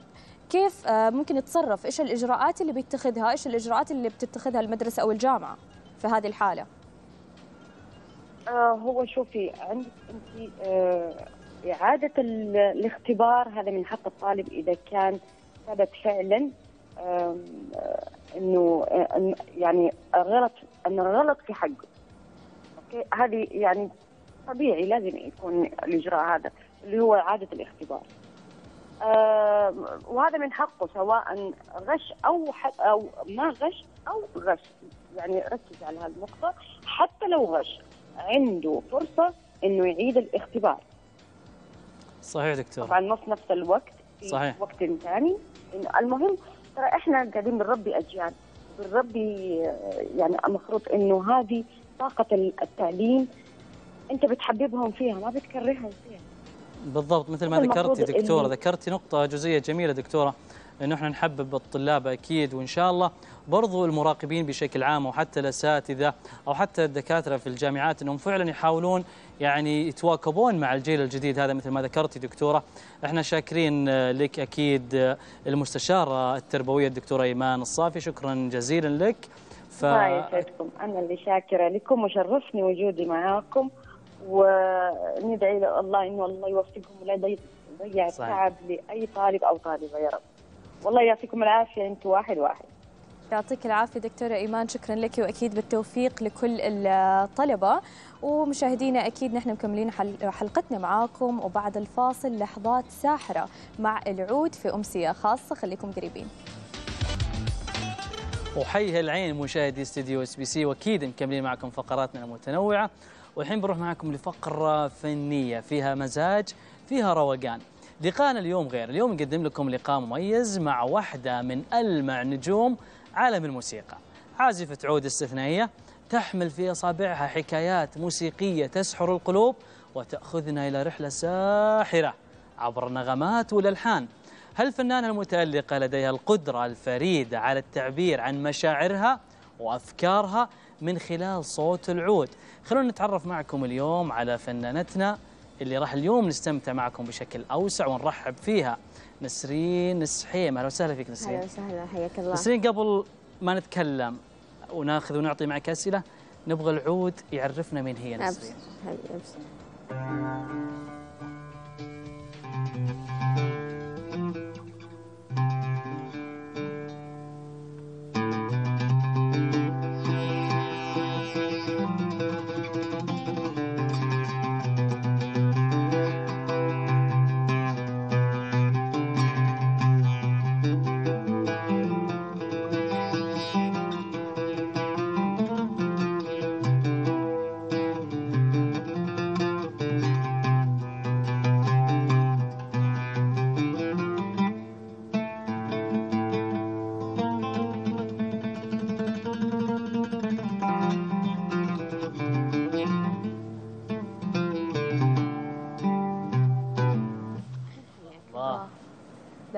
الروقان عندك يعني نسرين. آه، أبهرتينا صراحة. ما ودي أسألك شو اللي خلاك تختار آلة العود؟ لأن واضح قد إيش آه، كمية عشقك لآلة العود وهي أصلا آلة يعني تتحدث عن نفسها. لكن إيش اللي حفزك؟ آه، شوفي حقيقة ما الآلة معروفة. الآلة مو أنت اللي تختاريها الآلة هي اللي هي اللي تختارك. من جد والله هذه حقيقي الآلة هي اللي تختار صاحبها. العود أحبه أحبه بالذات من بين الآلات الوترية لأنه هو سيد الآلات سيد ال- ال- الآلات جميعا يعني في ألفة ما بيني وبينه يعني آه، أداة أجد فيها البشرية كما أنا أحب. أسولف معاه أضحك معاه أنا ما أشوفه يعني ما أشوفه جماد نسبيا لأنه هو يعني كان شجرة قصوها استخرجوا لنا منها العود. فاللي في يدك هذا فيه لها روح. فبدل ما تسقينا بالموية تسقينا بالأوتار. يطلع لك ال- الله الله كلام خطير ما يطلع إلا من فنان من داخل احساسه نسرين أبغى ارجع ال- متى بديتي في العود؟ كيف إيش المناسبة اللي خلتك تبدين فيه؟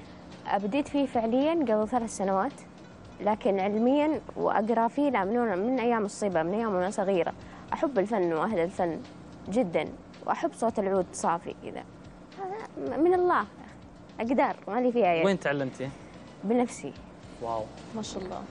يعني صعب بما هو. إنك قلتي تحبي الفن وأهل الفن مين الفنانين مين الموسيقيين اللي أثروا عليكي وأثروا على حتى يعني ذوقك الخاص في الموسيقى شوفي صراحة هذا سؤال يعني صعب شوية لكن أنا من من الفنانين اللي أقتدي فيهم آه، من أمس واليوم ولين بكرة ابتسام لطفي يعني ابتسام. لطفي هذه معشوقتي يعني ال- الأبدية أعشقها كثير طيب فهي اللي تسمعين أثرت. تسمعين شيء لها لا الابتسام ما, ما أحفظ أنا أغاني إلى الآن إلا أشياء بسيطة لكن طيب مين أكثر تحبين أنت يعني أو ملهمك؟ أو الفنان اللي فعلا أنت تنطربين لما تسمعين عودة؟ آه، كثير بس عبادي طبعا. أوه أكيد. عبادي. نسمع له؟ أبشر بسمع معك.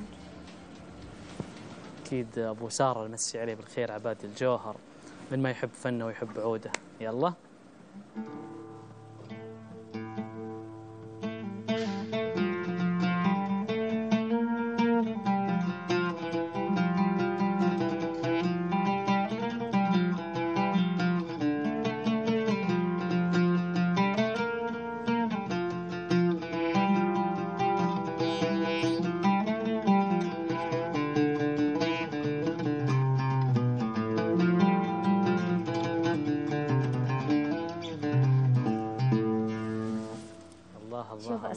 حقيقي يعني أنا أنا أتوتر من العزف أمام الناس فعشان كذا إنه حاولت شوف أنا طيب معذرة شوية. أنا بسحب بسحبك شوية من جو التوتر شوية وباخذ التوتر واحطه فيه. أنا قبل فترة كنت متوتر كان في واحد من أصدقائي يبغى يدربني على العود فصراحة مريت بفترات توتر والمصيبة إنه كان بيدربني قدام ناس. فقاعد أقول يا فلان هذا يا اختبار فلان هذا مو تدريب. إيه وكان يهاوشني. لا أمسكه كذا دق كذا أسحب الوتر. الآن أنت لو ما يجيك أحد أختك ولا أحد يعني قريب منك أو واحد يبغى يتعلم العود ممكن تدربينها العود أدربه لكن في البداية أقول له ثلاث أشياء. وأنت كإنسان صادق جاوبني بكل صدق وإنصاف وحق وسماحة. عشان ما تظلم نفسك ولا تظلم الآلة في يدك لازم يكون عندك صبر والتزام وتركيز. الصبر إنك حتى تمشي في فترة طويلة ما حتطلع حرف واحد. التركيز إنه يوميا لما أنت تجلس عليه تعطيه حقه تكون مركز معاه 100% الالتزام انه لما تصبر وتركز تلتزم فيه لأنه خلال الشهور الأولى ما حتنتج فيه أي شيء. سبحان. الله يعني الشخص بمجرد ما يمسك هذه الآلة بيحس بعلاقة ما بينه وبين الآلة. يمكن لو ما حس بشيء هو ماسك هذه الآلة الأفضل إنه ما يتعلمها. توافقيني ولا لا؟ يختار ممكن شيء ثاني مختلف بيناسبه أكثر بيحس فيه أكثر. ابتسام لطفي في مقابلة لها قالت إن لم تعشق ما تقدم فلا تقدم. بالضبط. لأنك أنت حتظلمه وحتشوهه فلما تكون عاشقه حتى يعني حتقدمه بكل حب أهوج. صح. فلا تظلم أي شيء معك. مو شر مو مو بس ال- ال- الفن والعود أي شيء في الحياة. يعني إذا ما عشقته لا تقدمه لأنك ما راح تقدمه بالطريقة اللائقة. حتشوه. آه فيه. طبعا نسرين لاحظت كذا يعني خصوصا الأشخاص دائما اللي بيميلوا لآلة العود بيفضلوا الموسيقى الكلاسيكية. لكن هل أنت تأثرتي من نوع موسيقى مختلفة غير الموسيقى الكلاسيكية؟ إيه، أحب الموسيقى الشرقية نعم. أحب الطرب الثقيل أنا. أحب الطرب اللي على الرف كذا مكنون ما حد الله. يعرفه. طيب نسرين هذا بما إنك جبت وريم جاب الطاري الشيء الكلاسيكي. أنا إنسان مثلا ما أفهم في العود.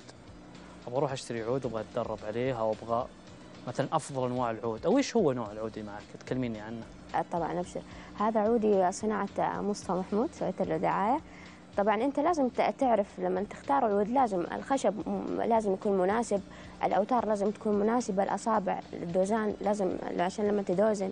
الفرق بين العود الجيد والسيء هذا أيوة. أيوة. سؤالك طيب أنا لما باخذ لي عود سيء نقول تعليمي زي ما يقولوا حق مبتدئين. حيتعبني في التعليم؟ لا يا أخي ياخذ لك شيء مرة طيب. طيب ممكن ما أسلك فيه ممكن ما أستمر.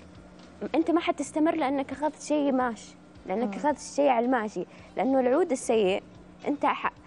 ظلم صراحة يعني انت لما تضغط على الأصابع بالقوة حتى لما تجيك نغمة لما تضرب على الوتر ما حتطلع لك نغمة لما تجي تصفي العود أو تدوزنه اللي لازم تجيب زرادية علشان توزنه صح ولا لا؟ عكس لما نجيب عود جيد من ضغطة واحدة تطلع لك النغمة صحيحة وصافية على طول توزن العود. مع إن كثير من الأحيان بيقول لك لما تجي تتعلم آلة خذ في البداية أي شيء. لكن صراحة أنا أوافقك الرأي في هذا الموضوع لأن أكيد الواحد بالعكس لما يجي بيتعلم بيتعلم على شيء يكون كويس بجودة عالية. هذا ما يعني إنك تاخذي شيء 2000 3 لا. لازم لما تشتري عود يكون معك شخص متعلم يفهم في الأعواد عشان ما يلعب عليك ولا تلعبي على أحد. لأنه أوقات تلاقي أعواد ترى ب 300 200 ممتازة كذا لقطة ما له علاقة. صحيح. لكن لازم يكون معك أحد يفقه في الأعواد. صح. الله الله. طيب نسرين إحنا زميلتنا نمسي عليها بالخير عاشقة للعود ندى. ودها تسمع منك شيء. أي شيء براسك الحين سمعناه اهديه لندى. هي من عشاق العود. شيء من تأليفك أو. تلحينك. بس أنا ح- حابة أنوه على شيء قبل ما أبدأ. آه. العزيفة أنواع. أنا من من النوع اللي هاوية. يعني لما أمسكه ماني ما اسلطن في الأغاني اسلطن في اللي في قلبي. سلطنينا معاك باللي في قلبك أعطينا. لأنه بالعادة يقولوا لي نسرين ما تعزف أغاني لا تتعبي نفسك. لا لا لا طلع لي في قلبك. هذا هو ناسك هو اداتك الموسيقية اللي تسمع منها. يلا.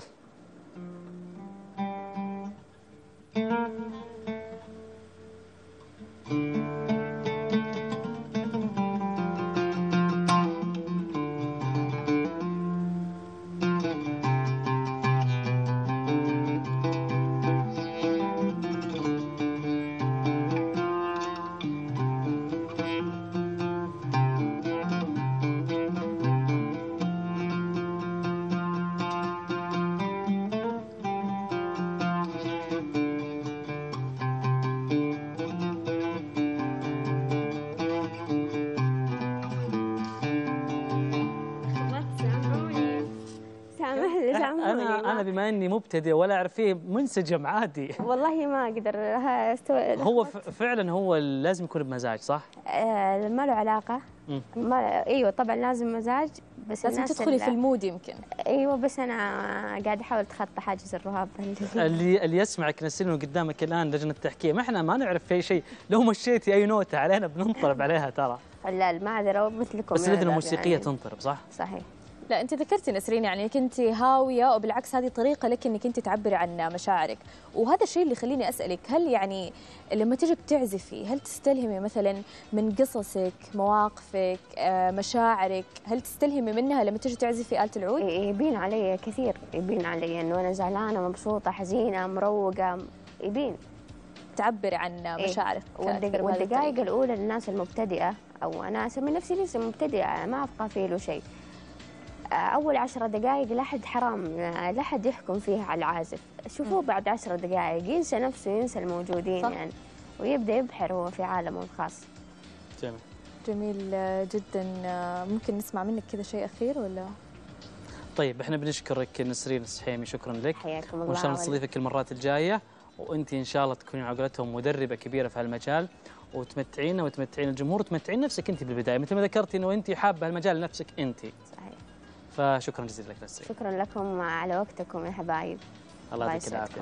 مشاهدينا نظمت وزارة الثقافة ممثلة بهيئة الموسيقى ثلاث ليالي من فن الأوبرا الراقي في مدينة الرياض بالإضافة إلى معرض مرتبط بفن الأوبرا العالمي.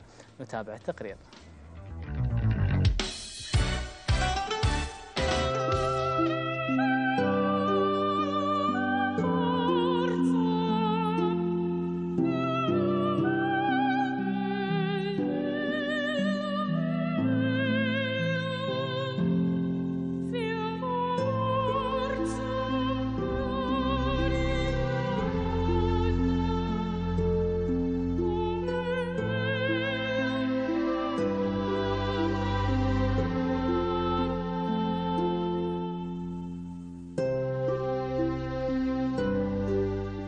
تعود جذور الأوبرا إلى القرن السادس ميلادي في قرى إيطاليا. اليوم وفي الرياض تحديدا رح نستمتع معكم بهالليلة الراقية بمشاركة فنانة سعودية في مهرجان ومعرض الأوبرا. تابعوا معنا.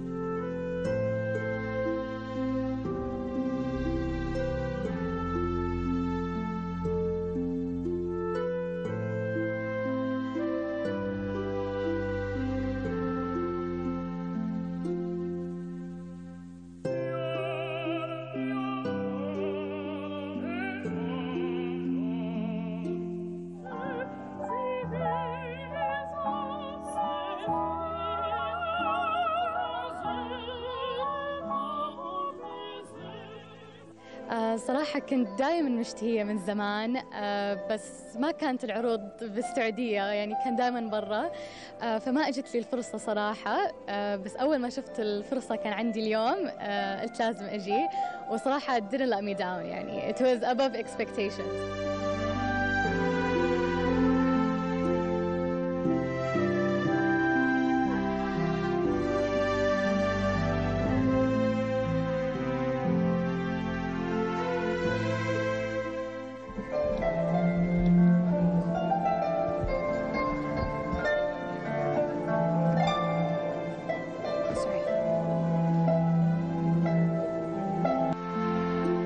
الشغف آه، جاء بوقت متأخر بس نيفر تو ليت على قولتهم. هذا من أربع سنوات تقريبا بدأت أتعلم آلة التشيلو. جميلة آم، مثل أي آلة ثانية.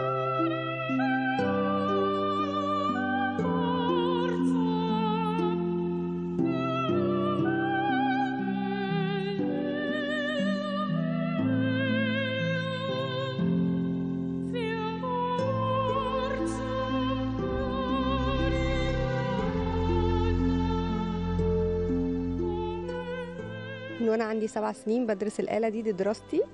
وفي نفس الوقت هوايتي لأني بحبها قوي آلة الهارب يعني آلة مصرية. فالاتنين شغف ودراسة.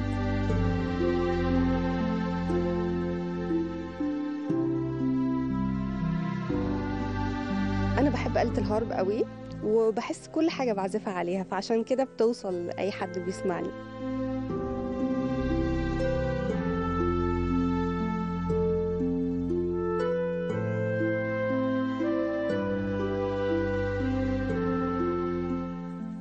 وبكذا ليلتنا لهذا اليوم خلصت. وأقدر أختم معاكم في العزف الراقي جدا خلفي مباشرة دمتم بخير.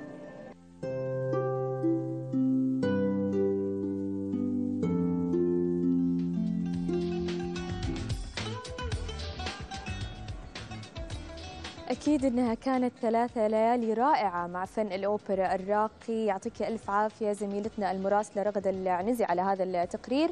وأكيد نحن مكملين معكم مشاهدينا حلقتنا لليوم لكن فاصل قصير وراجعين.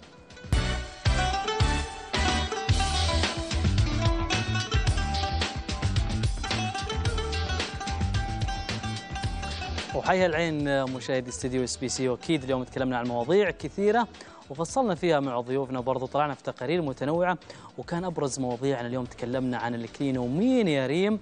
اللي فصلنا فيها مع الدكتورة وفهمنا إيش هو مفهومها أسبابها وبرضو طرق التخلص منها وأعتقد إنه طلعنا بفوائد كثيرة.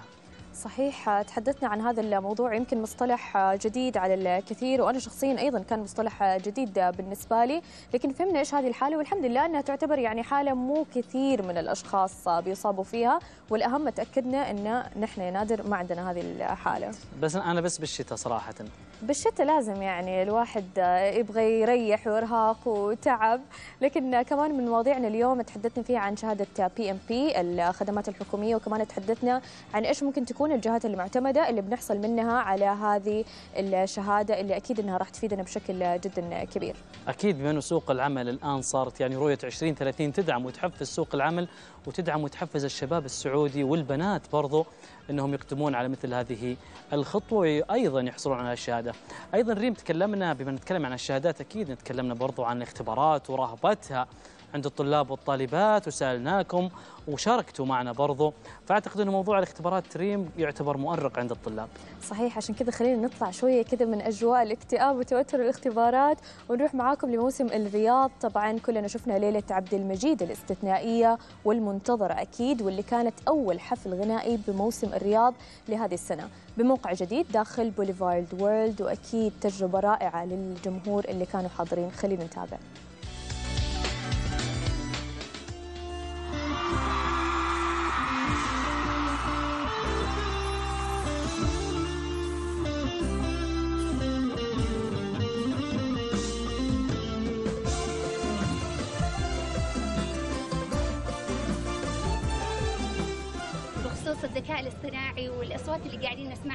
اللي قاعدين نسمعها الان بصوتك.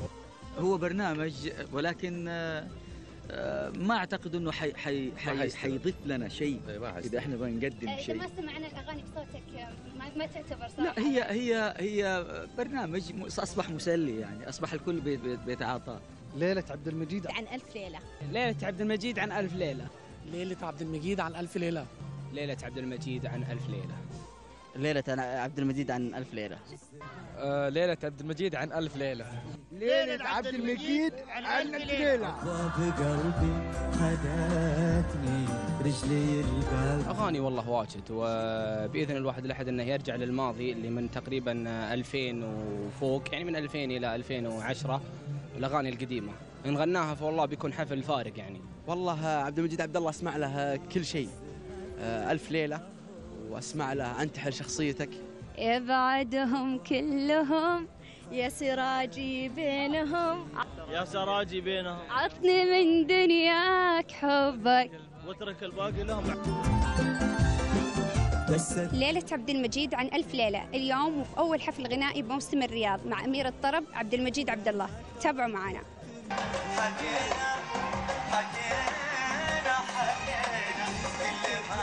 وفي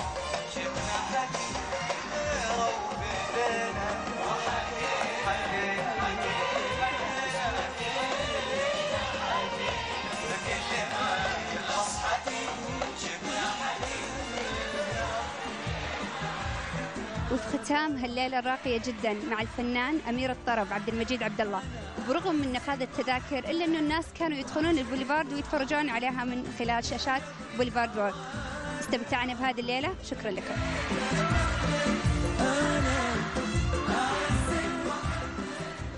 أكيد الجمهور استمتع بهالحفلة لكن إحنا ما شاء الله تبارك الله يعني مراسلتنا وزميلتنا رغد العنزي اكتشفنا عندها مواهب.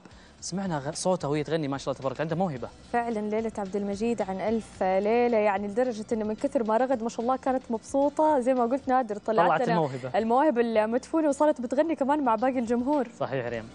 صحيح إنها كانت ليلة جدا جميلة ودائما الكل بينتظر حفلات الفنان عبد المجيد عبد الله. أكيد ومشاهدينا نحن بكذا وصلنا معاكم لنهاية حلقتنا لليوم.